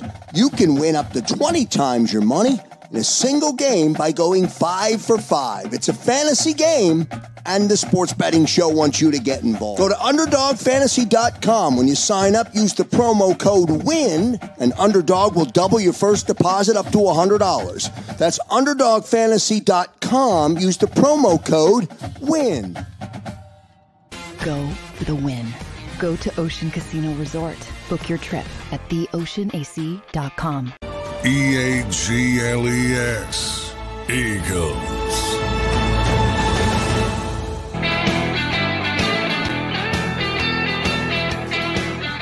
Great Philly Godfather gonna join us at 5:30 Eastern time. Yes, sir. By the way, I'm gonna get to the awards here in a second, but I want to ask one question. Very simple. That's all we've been doing today. Is asking simple question. Name me one thing Nick Sirianni did this year that was good in 23. Go. What did Nick Sirianni do great in 2023? Go.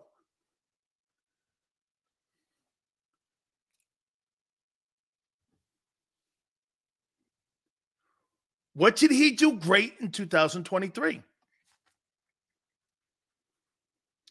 I'm open ending it.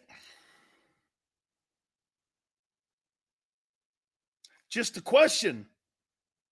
Oh, look at birds. Live for Howie. Wait, I got to write that. That's a fabulous take. Live for Howie. Oh, yeah. Let's see. Refute. Let's see here. Simple questions for a simple man. You're good unless you're the birds.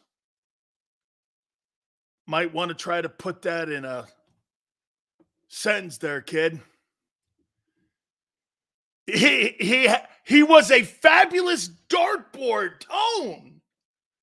Yeah. Okay. Got me to call him Fredo.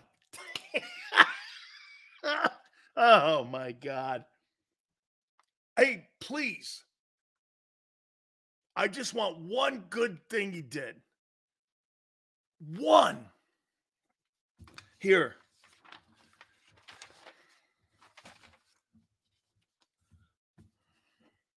So, how many people think that a coach's record means that he's better than the next coach? So, when you, what I'm saying here is, here, I'll give you the, I'll, I'll, I'll, I'll use this to go along with your idiotic takes that Nick Sirianni is the best coach in the NFC East.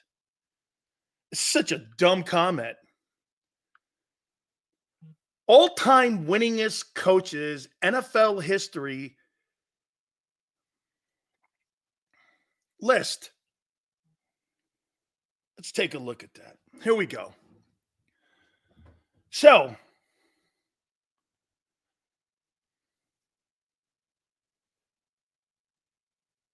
how many people believe that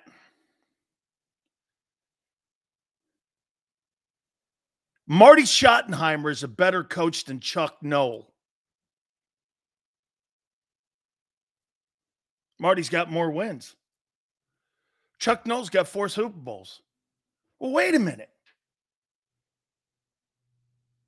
Chuck Noll only has a 566 win percentage. Nick Sirianni's better than Chuck Noll. So you would take Nick Sirianni over Chuck Noll because he has a better record.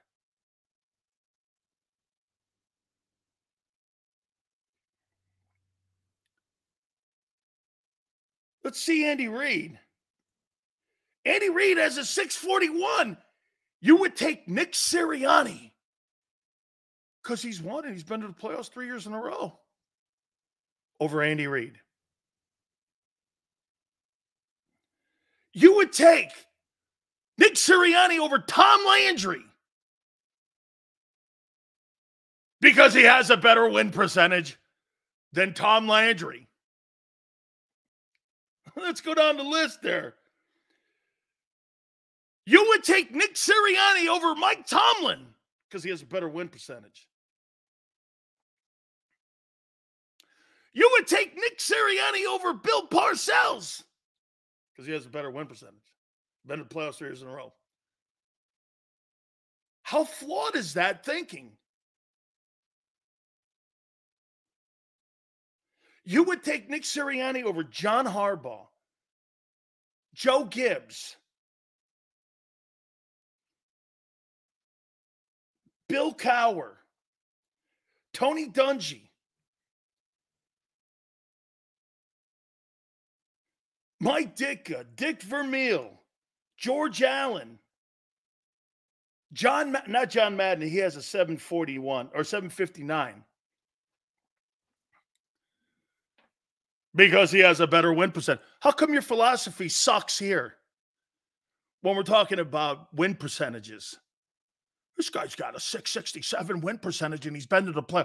Who fucking cares? You really think that guy's a better coach than Chuck Noll, Andy Reid? Because he's got a higher win percentage? He's a product of the environment around him. He didn't make that environment bring those players, and he had nothing to do with Jalen Hurts' drafting. Nothing. He had nothing to do with Jalen Hurts' development. Shit, when he runs the offense, they're 13 and 12. Show me one redeeming thing that he has done to earn that 667 where you say he's here. You think he's a better coach to Mike McCarthy? How in the hell can you say that when McCarthy's got a Super Bowl and has helped develop Brett Favre and also Aaron Rodgers and Dak Prescott? And he owns a ring. He's better. Really? How? As a play caller? You would take Nick Sirianni as a head coach play caller over Mike McCarthy. You got to be kidding me. How about this one? What would Brian Daboll do as a head coach in Philly? What do you think he would do in Philly? You think he'd do a better job than Nick? I do. I think he's the second best coach in the East. Yeah, but Sills, he's got Daniel Jones. That was there when he got there. He he got Daniel Jones a $40 million a year contract, and he stinks. He's made the playoffs. I'll tell you what, Brian Daboll's job's not in jeopardy. Nick Sirianni's job was. Because the Giants know they got a good coach. He better than Brian Daboll. Dan Quinn took the Atlanta. Hey, Dan Quinn, I wouldn't consider Dan Quinn a great head coach. And that Washington hire well, shit, he did take the Falcons to the Super Bowl, and they should have won that bitch. What what is what exactly? And actually, he's one of the best D coordinators in the NFL. Nick's not a good coordinator. What has he done more than Dan Quinn when it comes to accomplishing and developing a football team? What are you talking about? Dan Quinn can hand handpicked his job.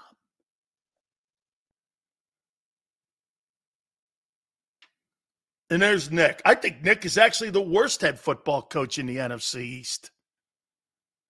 No coach with 11 wins has to have a powwow with his owner on whether or not they keep him, unless he sucked.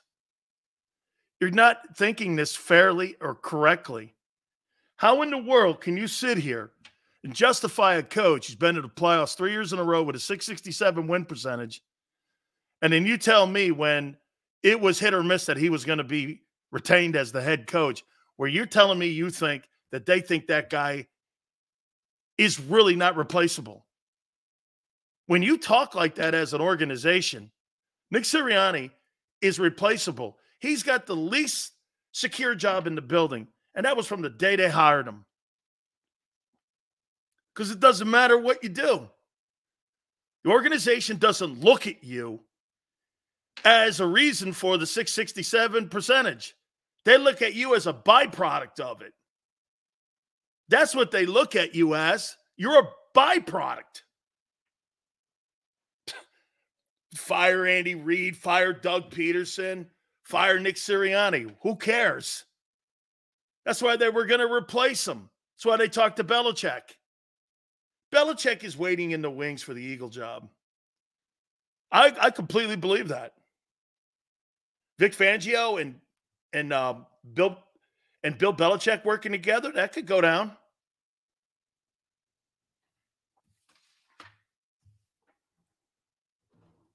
No, but Howie, like, because by the way, Howie gets, if Nick gets fired, Howie's right behind him. okay. To be a house cleaning. Oh, yeah. Next year, get this. You better get like the um, Clorox wipes. This is going to be ugly. You know how you, did you guys watch Pulp Fiction? And the fixer came in and he had to clean up because they shot the kid in the head in the car. It's kind of what this is going to be. A Tone, they're going to have to get industrial strength cleaner, a lot of arm and hammer.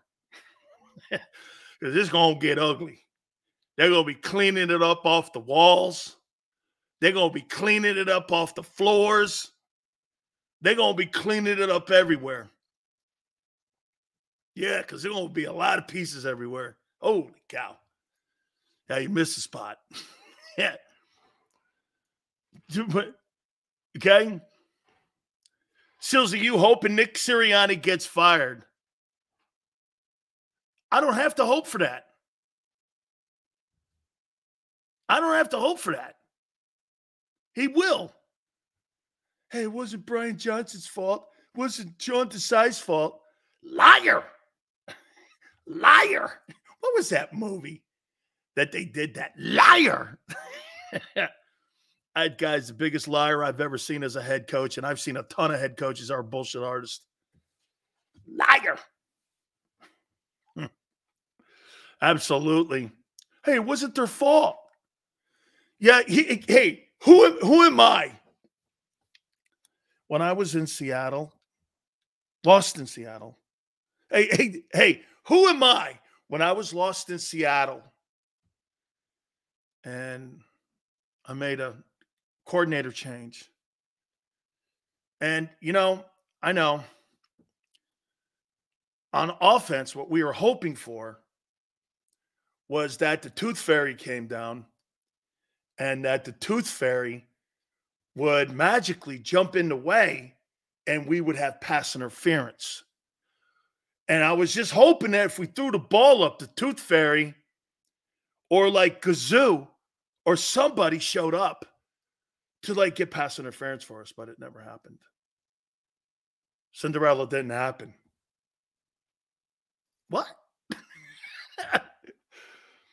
I just made that story up, like Nick. I just made that up. Just make it up. I did. I yes, yes, yes, Tone. I did use Gazoo from the Flintstones. Yes, I did. It was a Flintstones reference. Gazoo, the guy with the big fat head. Yeah, like Matt Patricia. Matt Patricia's Gazoo with the big fat head. ah.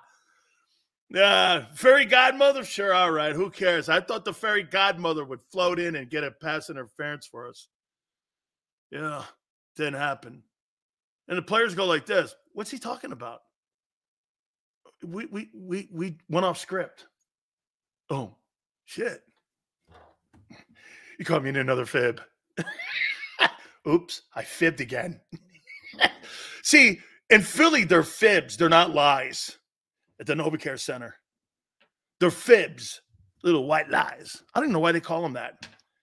Call them Italian lies? Sure, all right. The little fibs. don't blame don't blame Brian Johnson. Blame me. Okay. you survive and they get fired. I'd say, hey, um, here's a me- hey, right? Here's a message for Kellen Moore and Vic. When that guy says this, don't blame them, blame me. If I were those guys, I'd come out publicly going, hey, that was his call. that was his call. Because if you go along with it, you're going to get your ass fired. Yeah, yeah, it's him. It's him. You better point him out. Hey, you had Jason Kelce talking about how the offense was vanilla under vanilla Nick. Hey, that's a that's a great word. I'm gonna have to tweet at Jason Kelce at that. Jason Kelce has named a really good name for Nick Siri Liar. You know what that is? Vanilla Nick. Sounds like an ice cream cone with sprinkles. Sounds like an ice cream cone with sprinkles. Right? All right. The great one, Philly Godfather, is next. Keep it here on the National Football Show.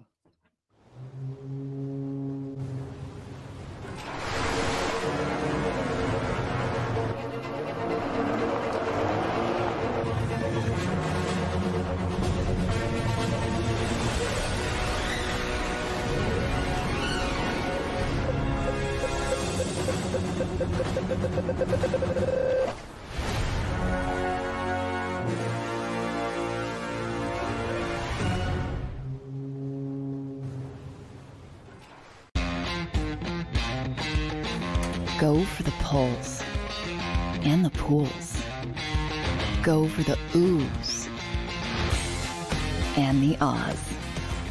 Go for the bubbles and the bubbly. Go for the story and the stories. Go for the win. Go to Ocean Casino Resort. Book your trip at theoceanac.com.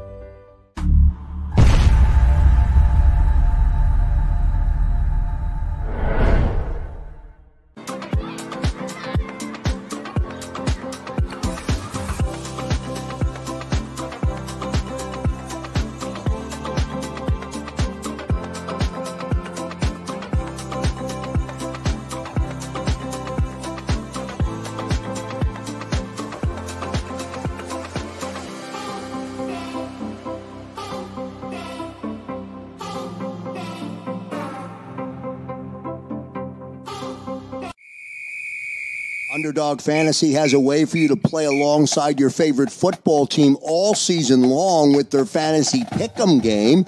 You pick between two to five players, select whether they'll go higher or lower on one of their stats, then do what you usually do on a Sunday watch the games.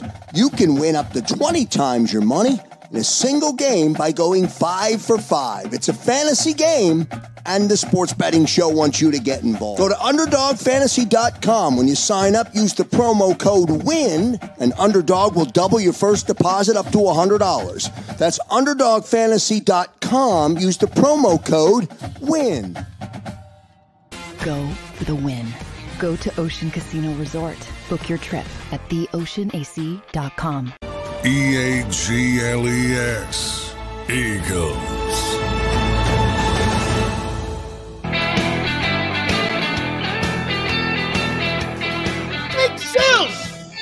Power hour. Damn, you know what? I haven't gotten to two topics yet. I still have a topic to get to here. It's like the lineup scene in the Bronx Tale. All right, now point out to us who did it. I love that movie. I love Chaz Palminteri. I absolutely love Chaz Palminteri. Flexing goes, Sills, no more Hooter commercials? What are you talking about? They'll be back in the fall next year. They ran a fall promo. I think we'll do something with them during the NCAA tournament too. They've been with me 40 years. I don't know what you're talking about. Made up as usual. I mean, my relationship with them is fine. Phenomenal. They've been friends of mine for 40 years. 40. All good. Um, I vote on these. Do I have my oh I do have my wallet. Uh hang on for a second here. Let me get this. And these are the NFL honors. Let me see if I have this in here. Let me see if I still have this. Do I? I got my NFL Players Association card. I know. Lifetime member. Uh Damn, where is that card? Hey, I'll tell you this. At least I get to go to the Hall of Fame for free. Got a lifetime pass to go to the Hall of Fame. That's through the NFL Players Association, actually. Where the heck is that? Damn, I thought I had my NFL alumni card in here. I think I still got an old one. Anyway, um, so I vote on the honors and the MVP. I think I got an old one in here somewhere. Eh, it doesn't matter. Anyway, so I vote on I vote on all these awards. And this is, and I, by the way, these aren't all the people, and I'll tell you who I picked. MVP. Winner is Lamar Jackson. Baltimore Ravens. Second place, Josh Allen, Buffalo Bills. How you done? Wait a minute. How can a guy lead the NFL in turnovers and be second in the MVP voting, and your guy second in turnovers and nowhere in this list? How's that possible? How's that possible? Josh Allen led the NFL in turnovers, and he finished second in MVP voting.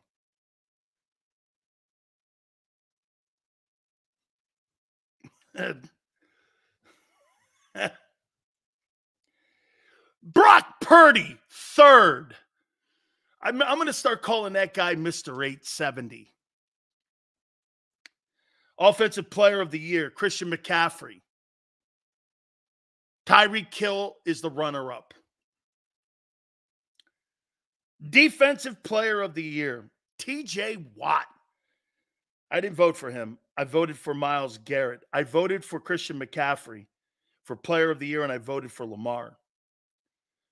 And those were my top three MVP guys too: Lamar, Allen, and Purdy. How you doing?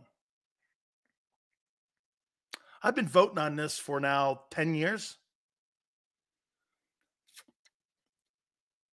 Myles Garrett was second, Micah Parsons third, Maxx Crosby fourth, Roquan Smith, a linebacker, Howie, finished fifth. Coach of the year, something that you guys will never understand until you get rid of that dude. DeMeco Ryans. I voted for him. Thought he did a sensational job. Kevin Stefanski, second. Dan Campbell, third. LaFleur, fourth. Packers. Sean McVay, fifth. Rams. All teams heading in the right direction. And your coach is on the hot seat next year. Whew. That Bunsen burner getting a little warm. Oh. Woo!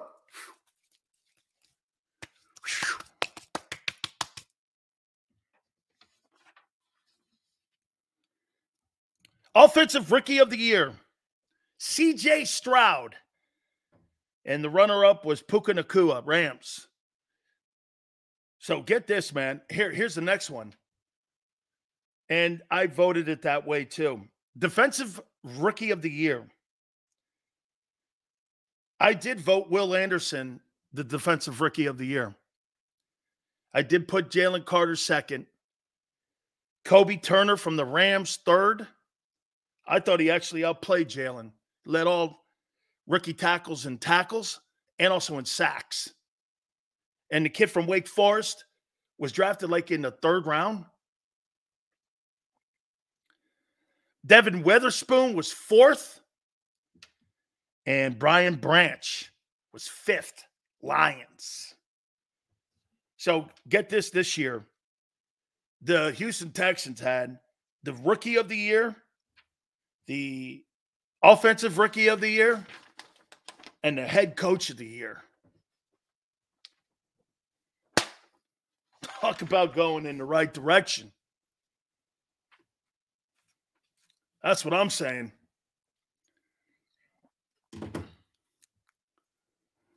That's what I'm saying. Okay.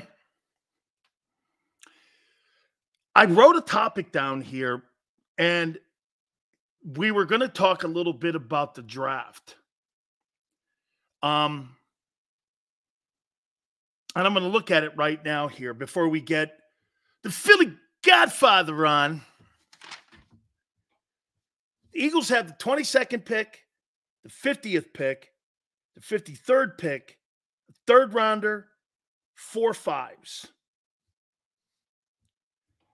And here are the players that I've 14 players that you're going to be able to look at. First 22. When you're looking at 22 players, I think you need a corner and safety in that position. I don't think anybody thinks that they'll go anywhere else in that, right? Corner, I don't believe they'll go safety. Now they could trade out of that pick, but for me, I think it's Kool Aid. If Kool Aid is there, okay, and someone goes like Chris goes, I'd still rather have Carter. Um, how about this one here, Chris? I think Carter's a fabulous football player, and I think he's going to be sensational. But Chris, know this: what position is more of a value in the NFL? an edge rusher who can rush the passer, cover tight ends, cover backs out of the backfield, and play the run. What's more of a valuable asset, and who are you going to pay more? A defensive tackle, or and no? Get this. Here's something to think about. What if Jalen Carter turns out to be Aaron Donald, or say he's Chris Jones? Is Howie going to pay him thirty million dollars? Are you going to pay Jalen Carter $30 million in two years? Are you? Are you going to pay a D tackle $30 million if he turns into Chris Jones? You got to remember how they operate. You think which you think they're going to pay a D tackle 30 million? When you got to pay both your you want hey get this. You want to pay both your wide receivers 25 million and your quarterback 50 and then you want to turn around and give a d tackle 30 oh you can't you can't be dumber. It's not how they roll Tone brings it up all the time. They develop all these guys, and you know what they do? They didn't pay Fletcher Cox $25 million. Not true. Absolutely not true. Uh uh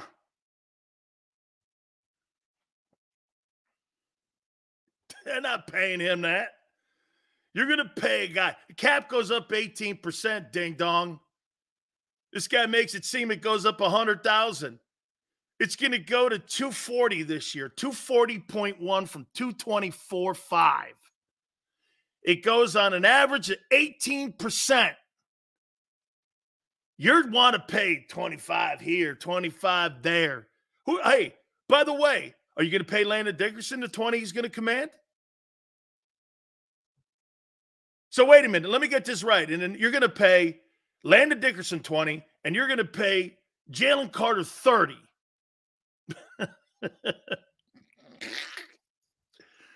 oh my God. Hilarious.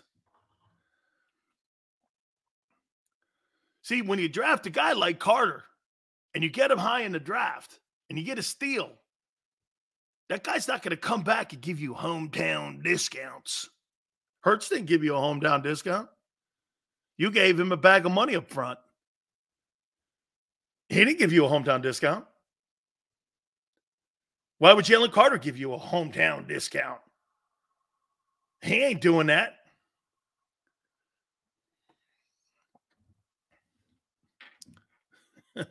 hey, get this. Get this. You think Jalen Carter makes 30 million if he turns out to be Chris Jones? Good luck, kid. All right. I think you're hanging around Kool Aid. With that 50th pick, if you don't trade out of it, you're going to hang around with Keely, Kalen King, the quarterback, cornerback from Penn State. Would you draft a running back here? That kid, Jonathan Brooks, or would you wait until the third round for Trey Benson from FSU? You need to get a running back. Okay? What is Kelly Greensteals was saying all this before they paid her? Hoss, you paid Hurts at the expense of the defense. You didn't do any, you didn't do your team any favors by giving Jalen that money. I told you you would have to take away players, and you did. Everything I said was true. They paid the player, sacrificed the defense. No one makes money over there. There's no investments. There's, you know what you have on defense? Bad contracts, bad players. Yeah, you said they couldn't play Hurt. Yeah, they paid Hurts at the expense of your roster. That's a fact.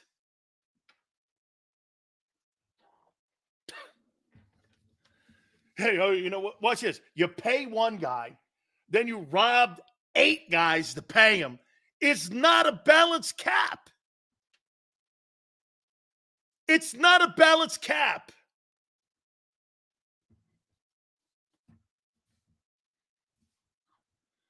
Okay. You can also, in there at 55, around there, in that third round, you can do DJ James, the kid from Auburn. I'd put him in that conversation. Do you take a line? Hey, do you draft the running back in this draft? Do you draft a running back? Would you draft a running back in this draft?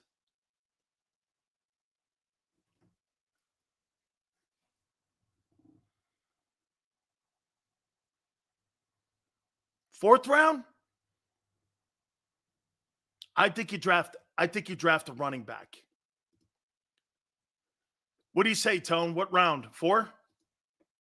You use that one you use that you maybe you parlay up four of those five and then you go into the fourth. I'm not using a third. I'd like to use the line. Here's what I want to do corner on 22.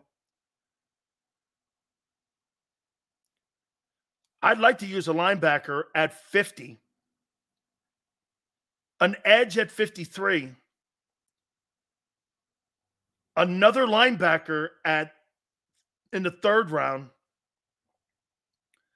And with those fifth rounders, parlay two of them up to get another three.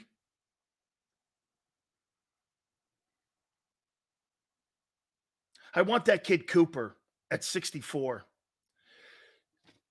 I want that kid Edgerrin Cooper at 64 from A&M. I want that kid in Vic Fangio's and Vic Fangio's defense. I want him. Okay.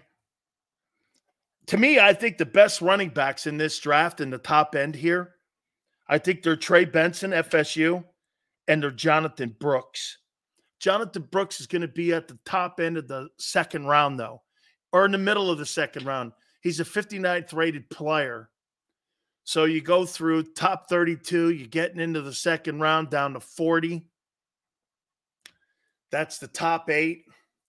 Then you go down a little more. So he's at the bottom end of the second round.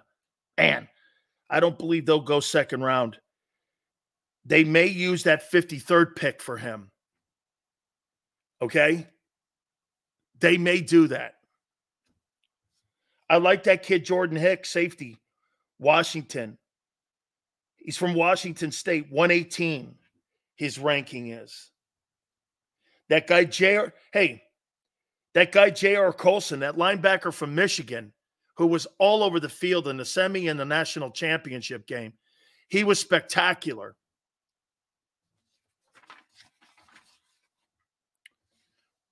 Would you draft a tight end? Frank Gore Jr. in the fifth? I think these other guys are better. Would you draft a tight end in this in this draft?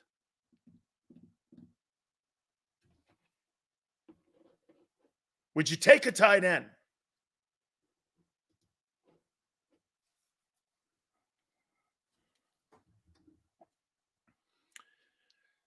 It's the kid from Michigan. You're not getting Bowers. Don't get ahead of yourselves. AJ Barner, the kid from Michigan, ranked at 134. So he's probably fourth round, something like that. That's an option for you. Because, in my opinion, you've got to start looking at replacing Dallas Goedert.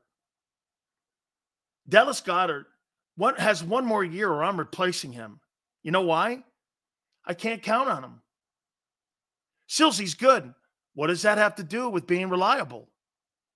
You can't keep telling me you're good and you show up for 75% of your games every year. You can't keep telling me that. That's not how you build a roster. MG, I think Cooper's an immediate starter too. I think he would be a force on that defense. Man, I'd like, and by the way, he's not being projected um, in the first round for whatever reason. I watched him play this year, and I happen to know the linebacker coach at A and M, and I put him on every single All American team I had. I thought he was just a great football player, and I think he's going to make a massive impact. Remember that kid that you guys hated? That kid from Utah? What was his name? Lloyd? I said you should draft him. He's kind of like that kid.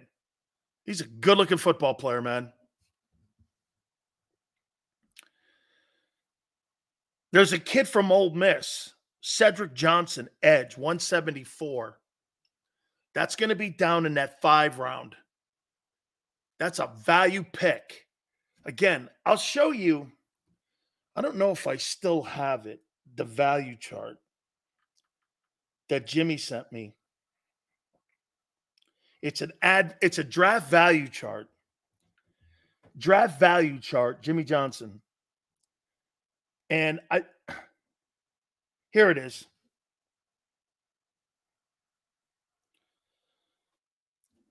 That's kind of what it looks like. What Jimmy did was he makes all the value picks based off of value and what that particular pick is going to bring. That's how he built the Cowboys. I wanted Lloyd in the in the first. I loved his game. He's killing it in Jacksonville. That's who I you know, hey Tony, you know who I wanted with those first two picks, and everyone in here hated me. I wanted the kid McDuffie and Lloyd as my top two round guys. Oh, he's too small. And guy's now starting in the Super Bowl for his second Super Bowl in a row. Let me tell you something about being a gamer. And I mean being a gamer in a way where you just put your Sacagawea on the table. And you put that bad puppy out there every week for everyone to see and take shots at you. This is why I love the Philly Godfather because you know what he does? Instead of put, see, I put takes up. You know what this guy puts up? He puts up his townhouse down on Madison Avenue. That's why this guy goes, and he know, you know that 65 foot yacht he's got sitting out in the port of San Diego? He puts that bitch out there too, and he goes, See, Cells, you're a prognosticator. Me, I'm a problem solver here. Sometimes you get the shells, sometimes you get the eggs. And this guy, most of the time, he gets the egg. Our good friend Philly Godfather. How you doing, man? Good man. Even a wise squirrel steps on his own nuts sometimes. hey, hey, hey, man. I'll tell you, I kept feeling for you too, man. You know what? Are you not in this position now? Get this Mahomes is an underdog right now, also in the Super Bowl, and I'm doing this. I think I'm done with that. Dude. Well, you, know what's crazy about last week? I actually won more wagers than I lost, but I ended up losing money because I had some big money on Baltimore. But whoever came up with that game plan, whether it was Harbaugh, his offensive coordinator, I mean, what were they thinking? They ran the ball all season. They played bully ball. You're playing the Chiefs, who have one of the worst run defenses in the NFL, and you decide to have Lamar drop back and pass the ball for 270 yards, fumble the ball, throw an interception, and you know what happened at the goal line, which was nuts because they were still in that game, and it was just the worst game plan I've ever seen from such a smart and talented head coach. It just boggled my mind. How have you done for the year, though? Oh no, we're we killed it. We kill it each and every year, man. We're booking the bookmaker. I tell people all the time, you know, eh, you, you start getting booked from the day you're born, right? As soon as you get the social security number, you're getting booked. As soon as you buy health insurance, car insurance, homeowners insurance, you're getting booked. You go to a sports book, you're getting booked because they have an edge over you. And that's why the insurance companies have the tallest buildings in every city because they're booking you. And that's why casinos in Vegas have the most beautiful casinos in the world. And I'm booking the bookmaker, and we make money each and every year. I tell people this all the time. They don't make castles out in the desert of Nevada at Las Vegas because they're losing. okay. okay. The Vegas strip isn't there because those dudes lose. All my friends are going because I lived there for six years. I lived right behind the Flamingo, by the way. I used to go in there all the time because those wives in there were really good to me. I would do my show from there. And they go like this to me: Don't bet on the strip. This is a this is a little note. Bet at the Piggly Wigglies, the 7-Elevens, because am I right? Philly Godfather, this is what the casinos do. They got that thing cranked up to like 67% failure rate.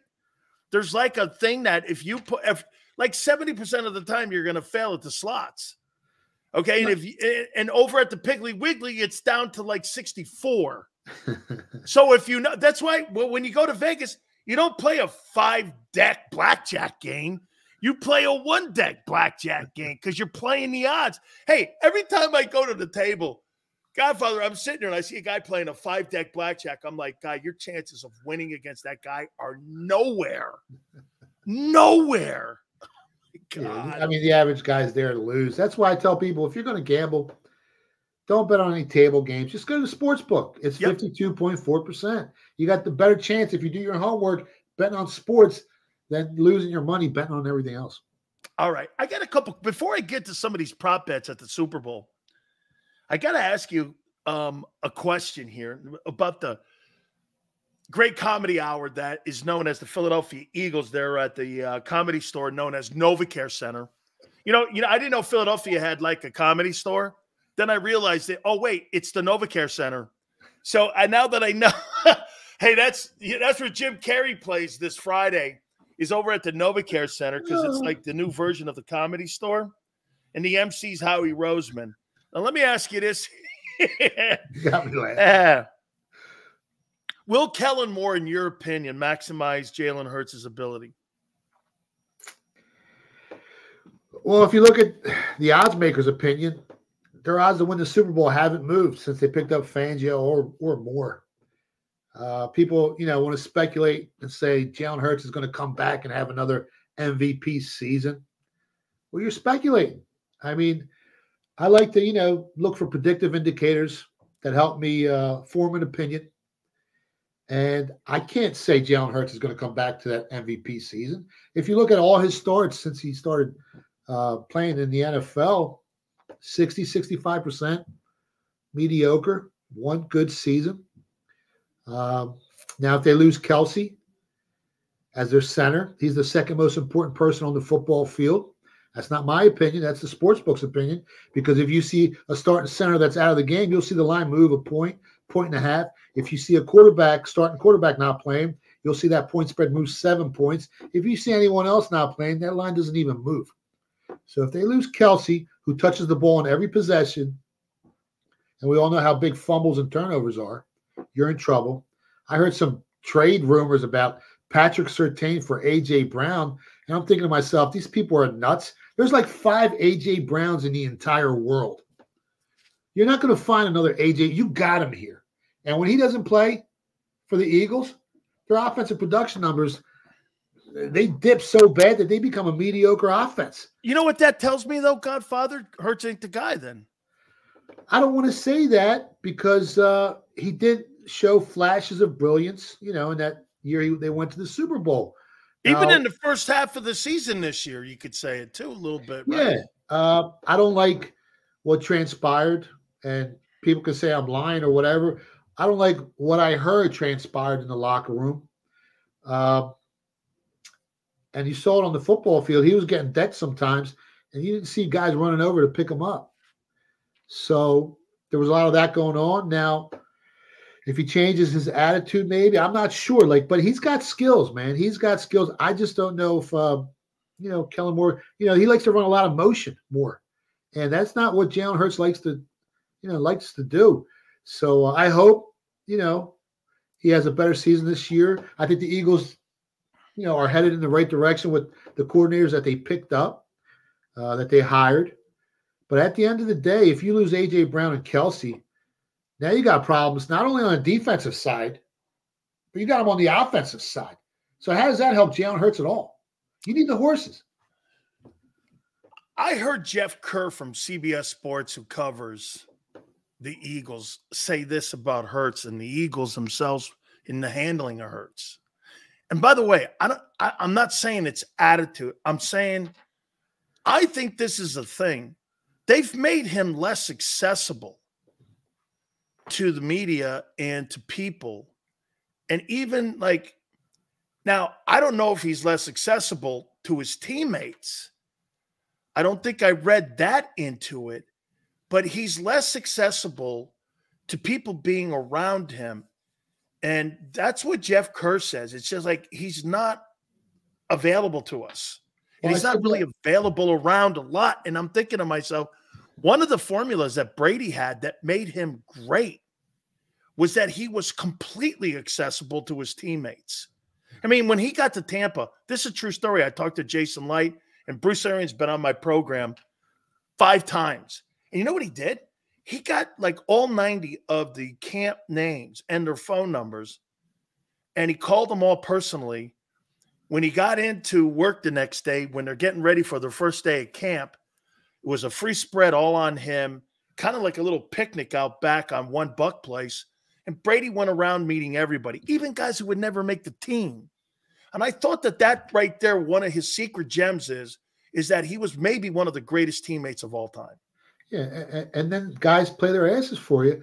And like we talked about a couple weeks ago, and nobody wanted to believe me. I said he isolated himself from a lot of the teammates, and that was information that was on the inside. Um, so I mean, moving forward, he's got a lot of talent. But if you remember back in, in college, he was twenty and two as a starter, and they benched him. So huh. that don't make you know something's going on that hopefully, I mean, they you know they can right the ship and they can get back on track. But the odds makers so far don't think so, and they back their opinion with hundreds of millions of dollars. They don't have the horses yet on defense. If you lose your center, man, that's huge. That's people don't realize how big that is. It is. He's the quarterback of your old line, and he's the guy that sets the front and protection. It's huge. So uh, without him in there, you're you, you think you struggled on blitzes? Oh. If Kelce's not back, They may have to bribe Kelce to come back with more money because to me, if you don't have Jason Kelce coming back who had an all pro season, you think you struggled on blitzes? You lose an all pro Hall of Fame center. I'll show you that thing becoming a nightmare even bigger. Yeah. And, and go back and look at the Eagles' offensive production numbers without AJ Brown. you need him here. Like I said, there's only five AJ Browns in the world, and you got him. Don't let him go. Explain this one to me. So all year long, Nick Siri liar is telling us, hey, don't blame Brian Johnson. Don't blame Sean Desai. Don't blame these guys. Hey, that was my mistake in the Jets game. Hey, that was I know it was my bad timeout. Don't blame don't blame these guys. Well, how in the world did those guys get fired and he survived? He's a yes man, but he's on a short. He's on a short rope. If they start the season two and three or two and four, he's going to be the first one that gets axed. Think about this though. How can you have a 667 win percentage? Been to the playoffs three years in a row, and no one thinks you're a good coach. Hey, um, I'm just saying, man. I mean, you, you just proved your own point. Dan. I know, I know, crazy. I know. You, you, you, you're, you. When you say it, it's completely contradicting it. I'm like, hey, how come this guy's on the hot seat? He's the number one coach going into next year on the hot seat. You got Belichick maybe or Vrabel waiting in the wings, and this guy has won almost seventy percent of his ball games. How come he's on the firing squad? you answered your question. and the Eagles were 10 and 1 last year, but we all knew they weren't a 10 and 1 team. No, they were 1 and 7. That's who they were. All right. Oh, by the way, I gotta, I gotta, I gotta ask you this one, man. Here, here's prop bets for this thing. If the Kansas City Chiefs win, does Travis Kelce propose to Taylor Swift after the game if they win. What's the over under on that?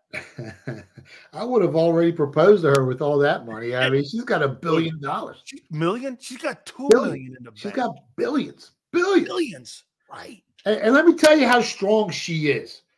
And I, I was at Target buying a charger because I had to go up to Syracuse to revise some of the chapters of my book and edit some stuff with uh, my team. And there was a soccer mom there with like 12 teenage girls. And this is in South Jersey, right outside of Philadelphia. And they were all wearing Kansas City Chiefs jerseys. And I'm looking at them. I'm like, what's going on here? And then I hear the one girl say, Baltimore Ravens, who? And they all started cracking up. Taylor Swift has converted every teenage girl in this country into a Kansas City Chiefs fan. That's how strong she is. It's it's real. Do you know that she has one of the highest selling jerseys? Like with her name in 87 or whatever his number is, and her name on the back, Swift, on the back of that jersey, that they don't count it, but if they did, she'd have the highest selling jersey of any player in the league. She's so strong that I heard DeSean Jackson, who's like a real NFL player. Like the guy played. He was, you know, and he said, he goes, you know, you got Mahomes, who's great, Andy Reid, who's great. But I think the NFL wants the Chiefs to win because of Taylor Swift. and I'm thinking to myself, is this what's he saying? Like, is that why they're in the Super Bowl? Like, wait, time out. How you, how can you handicap that? You know? It's scary. I think she's going to be the Super Time Super Bowl halftime show next year. Well, listen, if you think the Chiefs win and you think this Taylor Swift stuff's real, well, then how do you not bet Travis Kelce at 12 to 1 to win the MVP of the Super Bowl? oh, let me that. get to the props now then. If you're into conspiracy theories, you might as well bet, make that bet. Holy cow. He has a strong. Well, hey, how about this? Better odds to win the MVP in the Super Bowl: Travis Kelce or Patrick Mahomes, Brock Purdy or McCaffrey. Uh, Mahomes and Brock Purdy have the better odds because they're the quarterbacks. Sure. Yeah, and most of the time, I think 19 of the last 24 Super But Bowl I like your thinking. Travis yeah. has a big game, and and they're the other wide receivers, the other guys on that offense. they've been dropping balls all season. And Mahomes' passing yards are at 259 and a half. Anytime he's thrown for over 259 and a half this season, the Chiefs are eight and one. Anytime that he's thrown for less, they're just five and five. So Kelce's going to be huge here. That's the first one here. Mahomes, 260.5 in passing yards. You think he's over or under? He's going to have to be over for them to win the game. Uh, there's some real sharp money. The line originally opened up uh, three, San Fran minus three, and some sharp money jumped on that right away, plus three. It took the Chiefs plus three. Line moved back down to minus one. And then another sharp betting syndicate that bets millions of dollars, a lot more than I do, they took the 49ers minus one. So uh, if you believe the Chiefs are going to win this game, if you believe the Taylor Swift conspiracy theories, then you got to bet over on Patrick Mahomes passing yards. Brock Purdy, 242.5 yards in this game in the Super Bowl. Over under. Anytime he's thrown over 244 and a half uh, or 242 and a half, depending on, you know, I think the 49ers are 10 and 2 this year. But wow. anytime, yeah, uh, he, he's thrown for some big yards. But anytime he's played a team in the top 10 defense, you know, they they lost the Ravens, they lost the Browns, and they beat a Cowboys defense that, you know, was a really top 10. Uh, so he struggled. Uh, but me personally, I think both quarterbacks throw for over their yardage in the Super Bowl. Christian McCaffrey, 49ers, 34 and a half receiving yards. Uh, man, he could break one. He could break one. That's not something I'm looking to bet for the Super Bowl because, you know, he might catch two passes and go for 40 yards. He's that type of player. And the Kansas City Chiefs, uh, they don't cover uh, running backs coming out the backfield on screen passes too well, and they can't stop the run. So, uh, man, oh, and you know you want to use him. I mean, he's yeah. he's the ultimate weapon. That's close. 34 and a half, you said? 34 and a half. That's from DraftKings too. Yeah.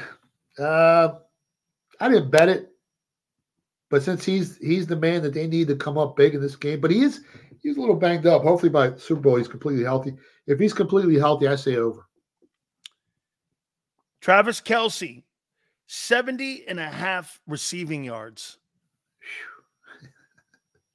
this Taylor Swift thing has my head all. I'm dead serious, man. It, it, hey, it's clouding your judgment here. Well, no, it's it's it's not clouding my judgment. It's you know I know what I know. I know what I see.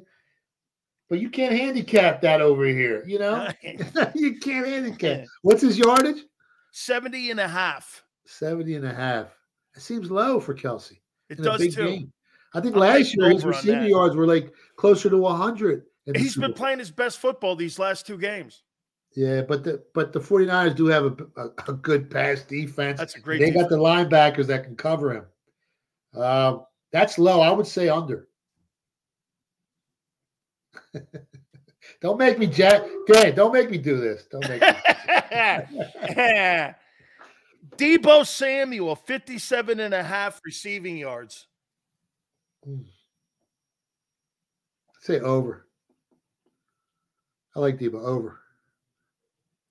Christian McCaffrey, 89.5 yards rushing. 89 Over. and a half. Over? he's going to have 100 yards in this game. That run defense is bad for the Chiefs. That's why I don't know why the Ravens, what they run? Nine times all game? Like, dude, you can't win. Pat, hey, when I saw Lamar Tom, Lamar Jackson have 47 passing attempts, it was over.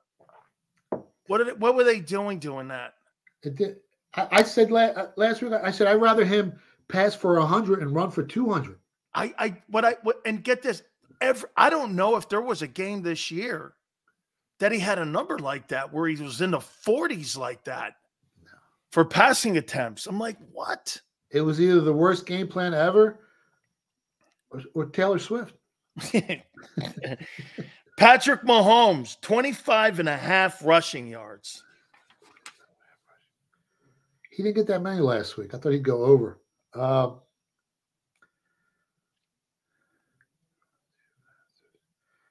I'd say over. San Francisco scoring over or under 24 points.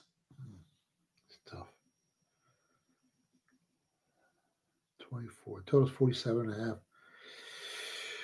Phew, that's right on the number. Um, they're in Vegas. I say over.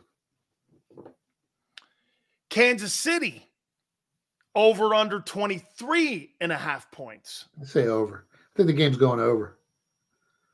So you think this game's like a They're going to score some 24 21 game?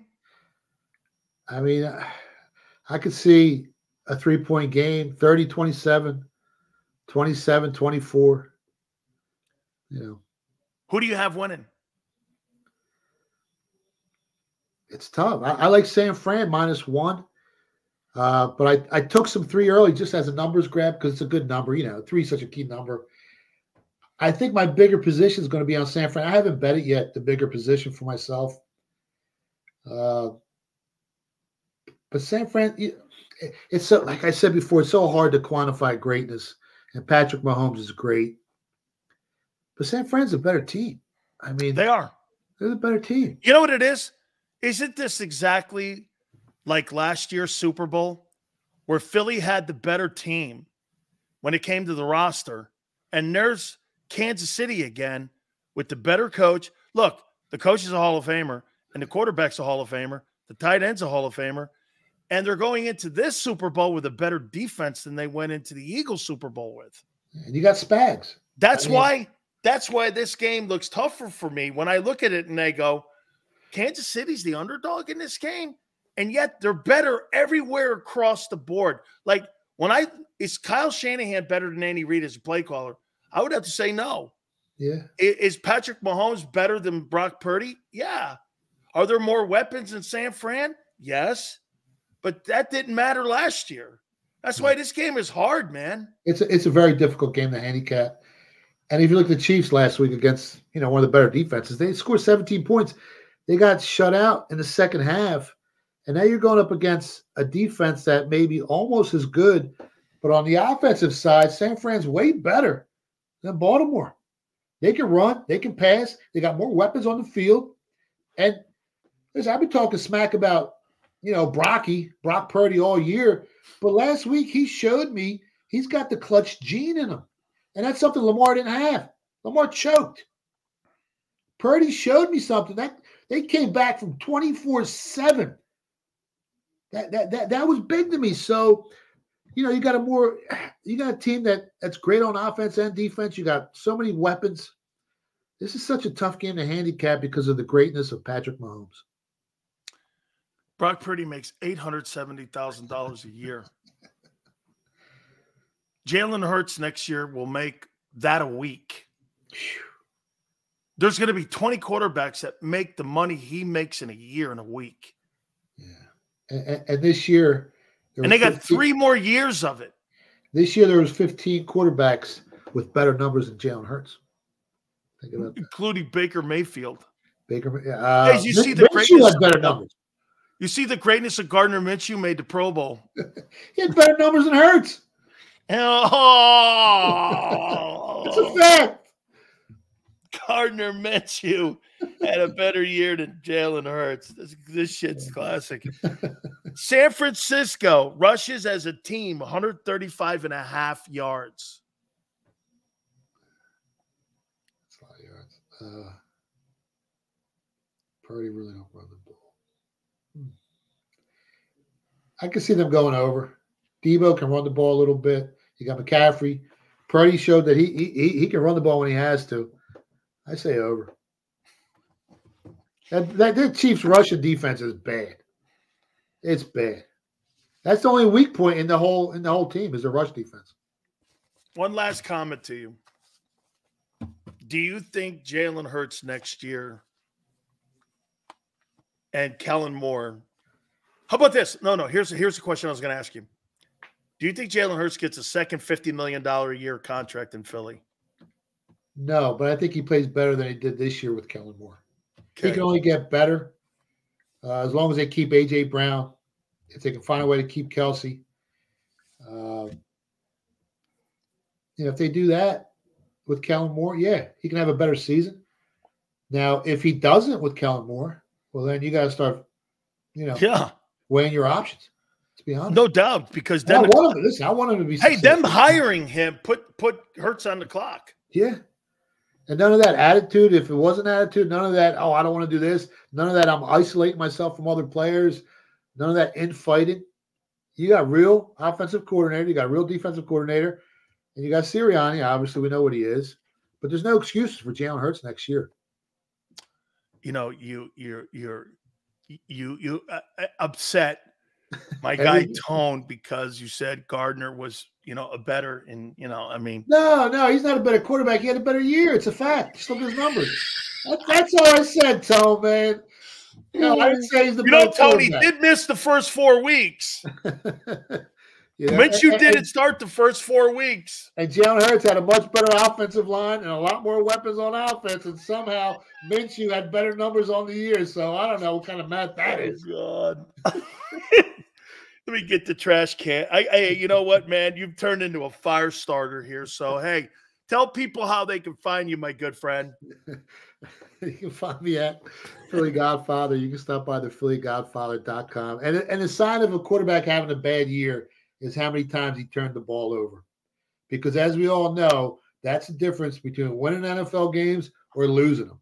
So you can you can throw for 4,000 yards if you turn the ball over 20, 25 times. Well, you know what? You didn't have the better season as a quarterback because your team didn't go nowhere.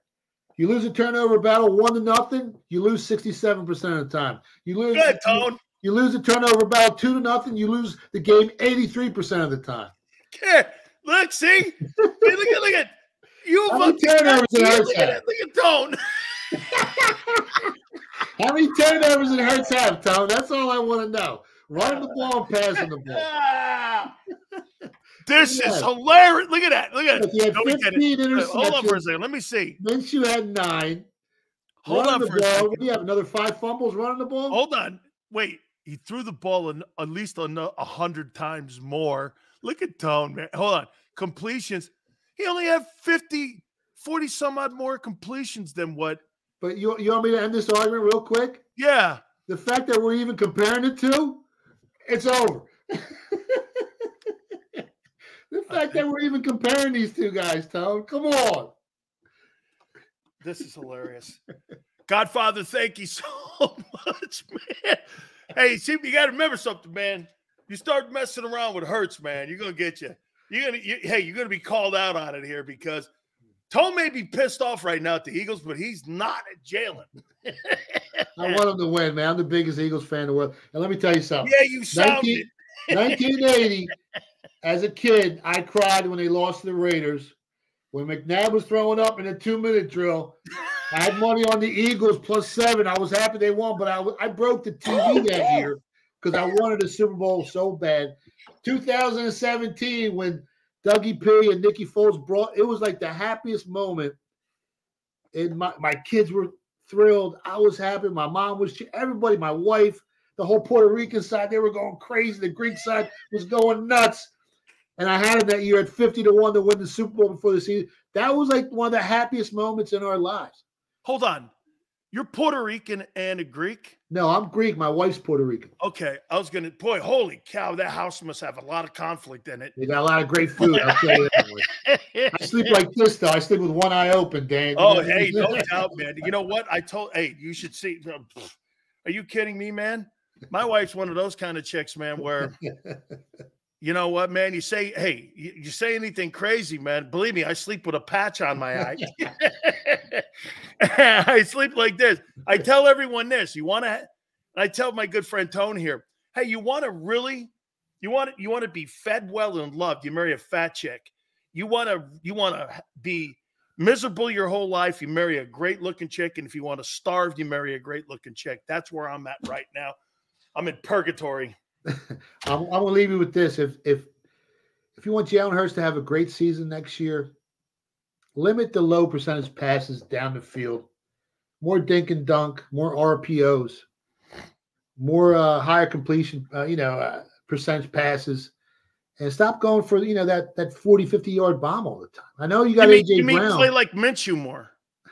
yeah, this year, yeah. play smarter, not harder, man. That's what it comes down to. My man, thank you so much. Good luck, guys. I'll see you next week. You got it. That's our good friend, the Philly Godfather. Tom wasn't having. He don't mind the disrespect on Hurts. He dis minds it when you drop Gardner Minshew. that ain't Sills. That ain't working for me, man. I'm sorry. I'm gonna have to, you know, because I run the whole thing here. You're just in the you're the caboose here. Okay, I'll run this thing here. That ain't we ain't going down that route. All right. Guys, you were great. Please hit the like button. Thank you so much. Xander, Big Joe. Have a fabulous NFL Super Bowl off week. Next week, it's going to be wall to wall Super Bowl stuff. We're going to have former MVPs on. Uh, Phil Simms going to step in with us. We're going to get Harry Carson. We're going to get so many people that played in Super Bowls that will be on to be a theme next week. We appreciate everybody coming aboard. Two to six on Monday. Tone, thank you very much. Absolutely fabulous stuff. We so appreciate it. We will catch you on the flip side.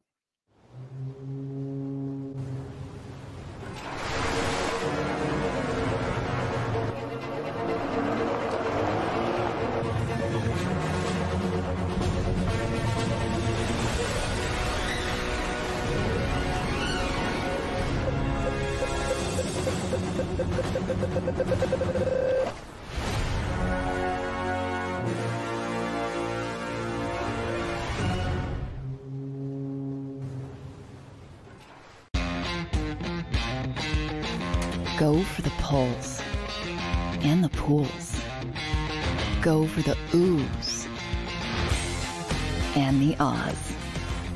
Go for the bubbles and the bubbly. Go for the story and the stories. Go for the win. Go to Ocean Casino Resort. Book your trip at theoceanac.com.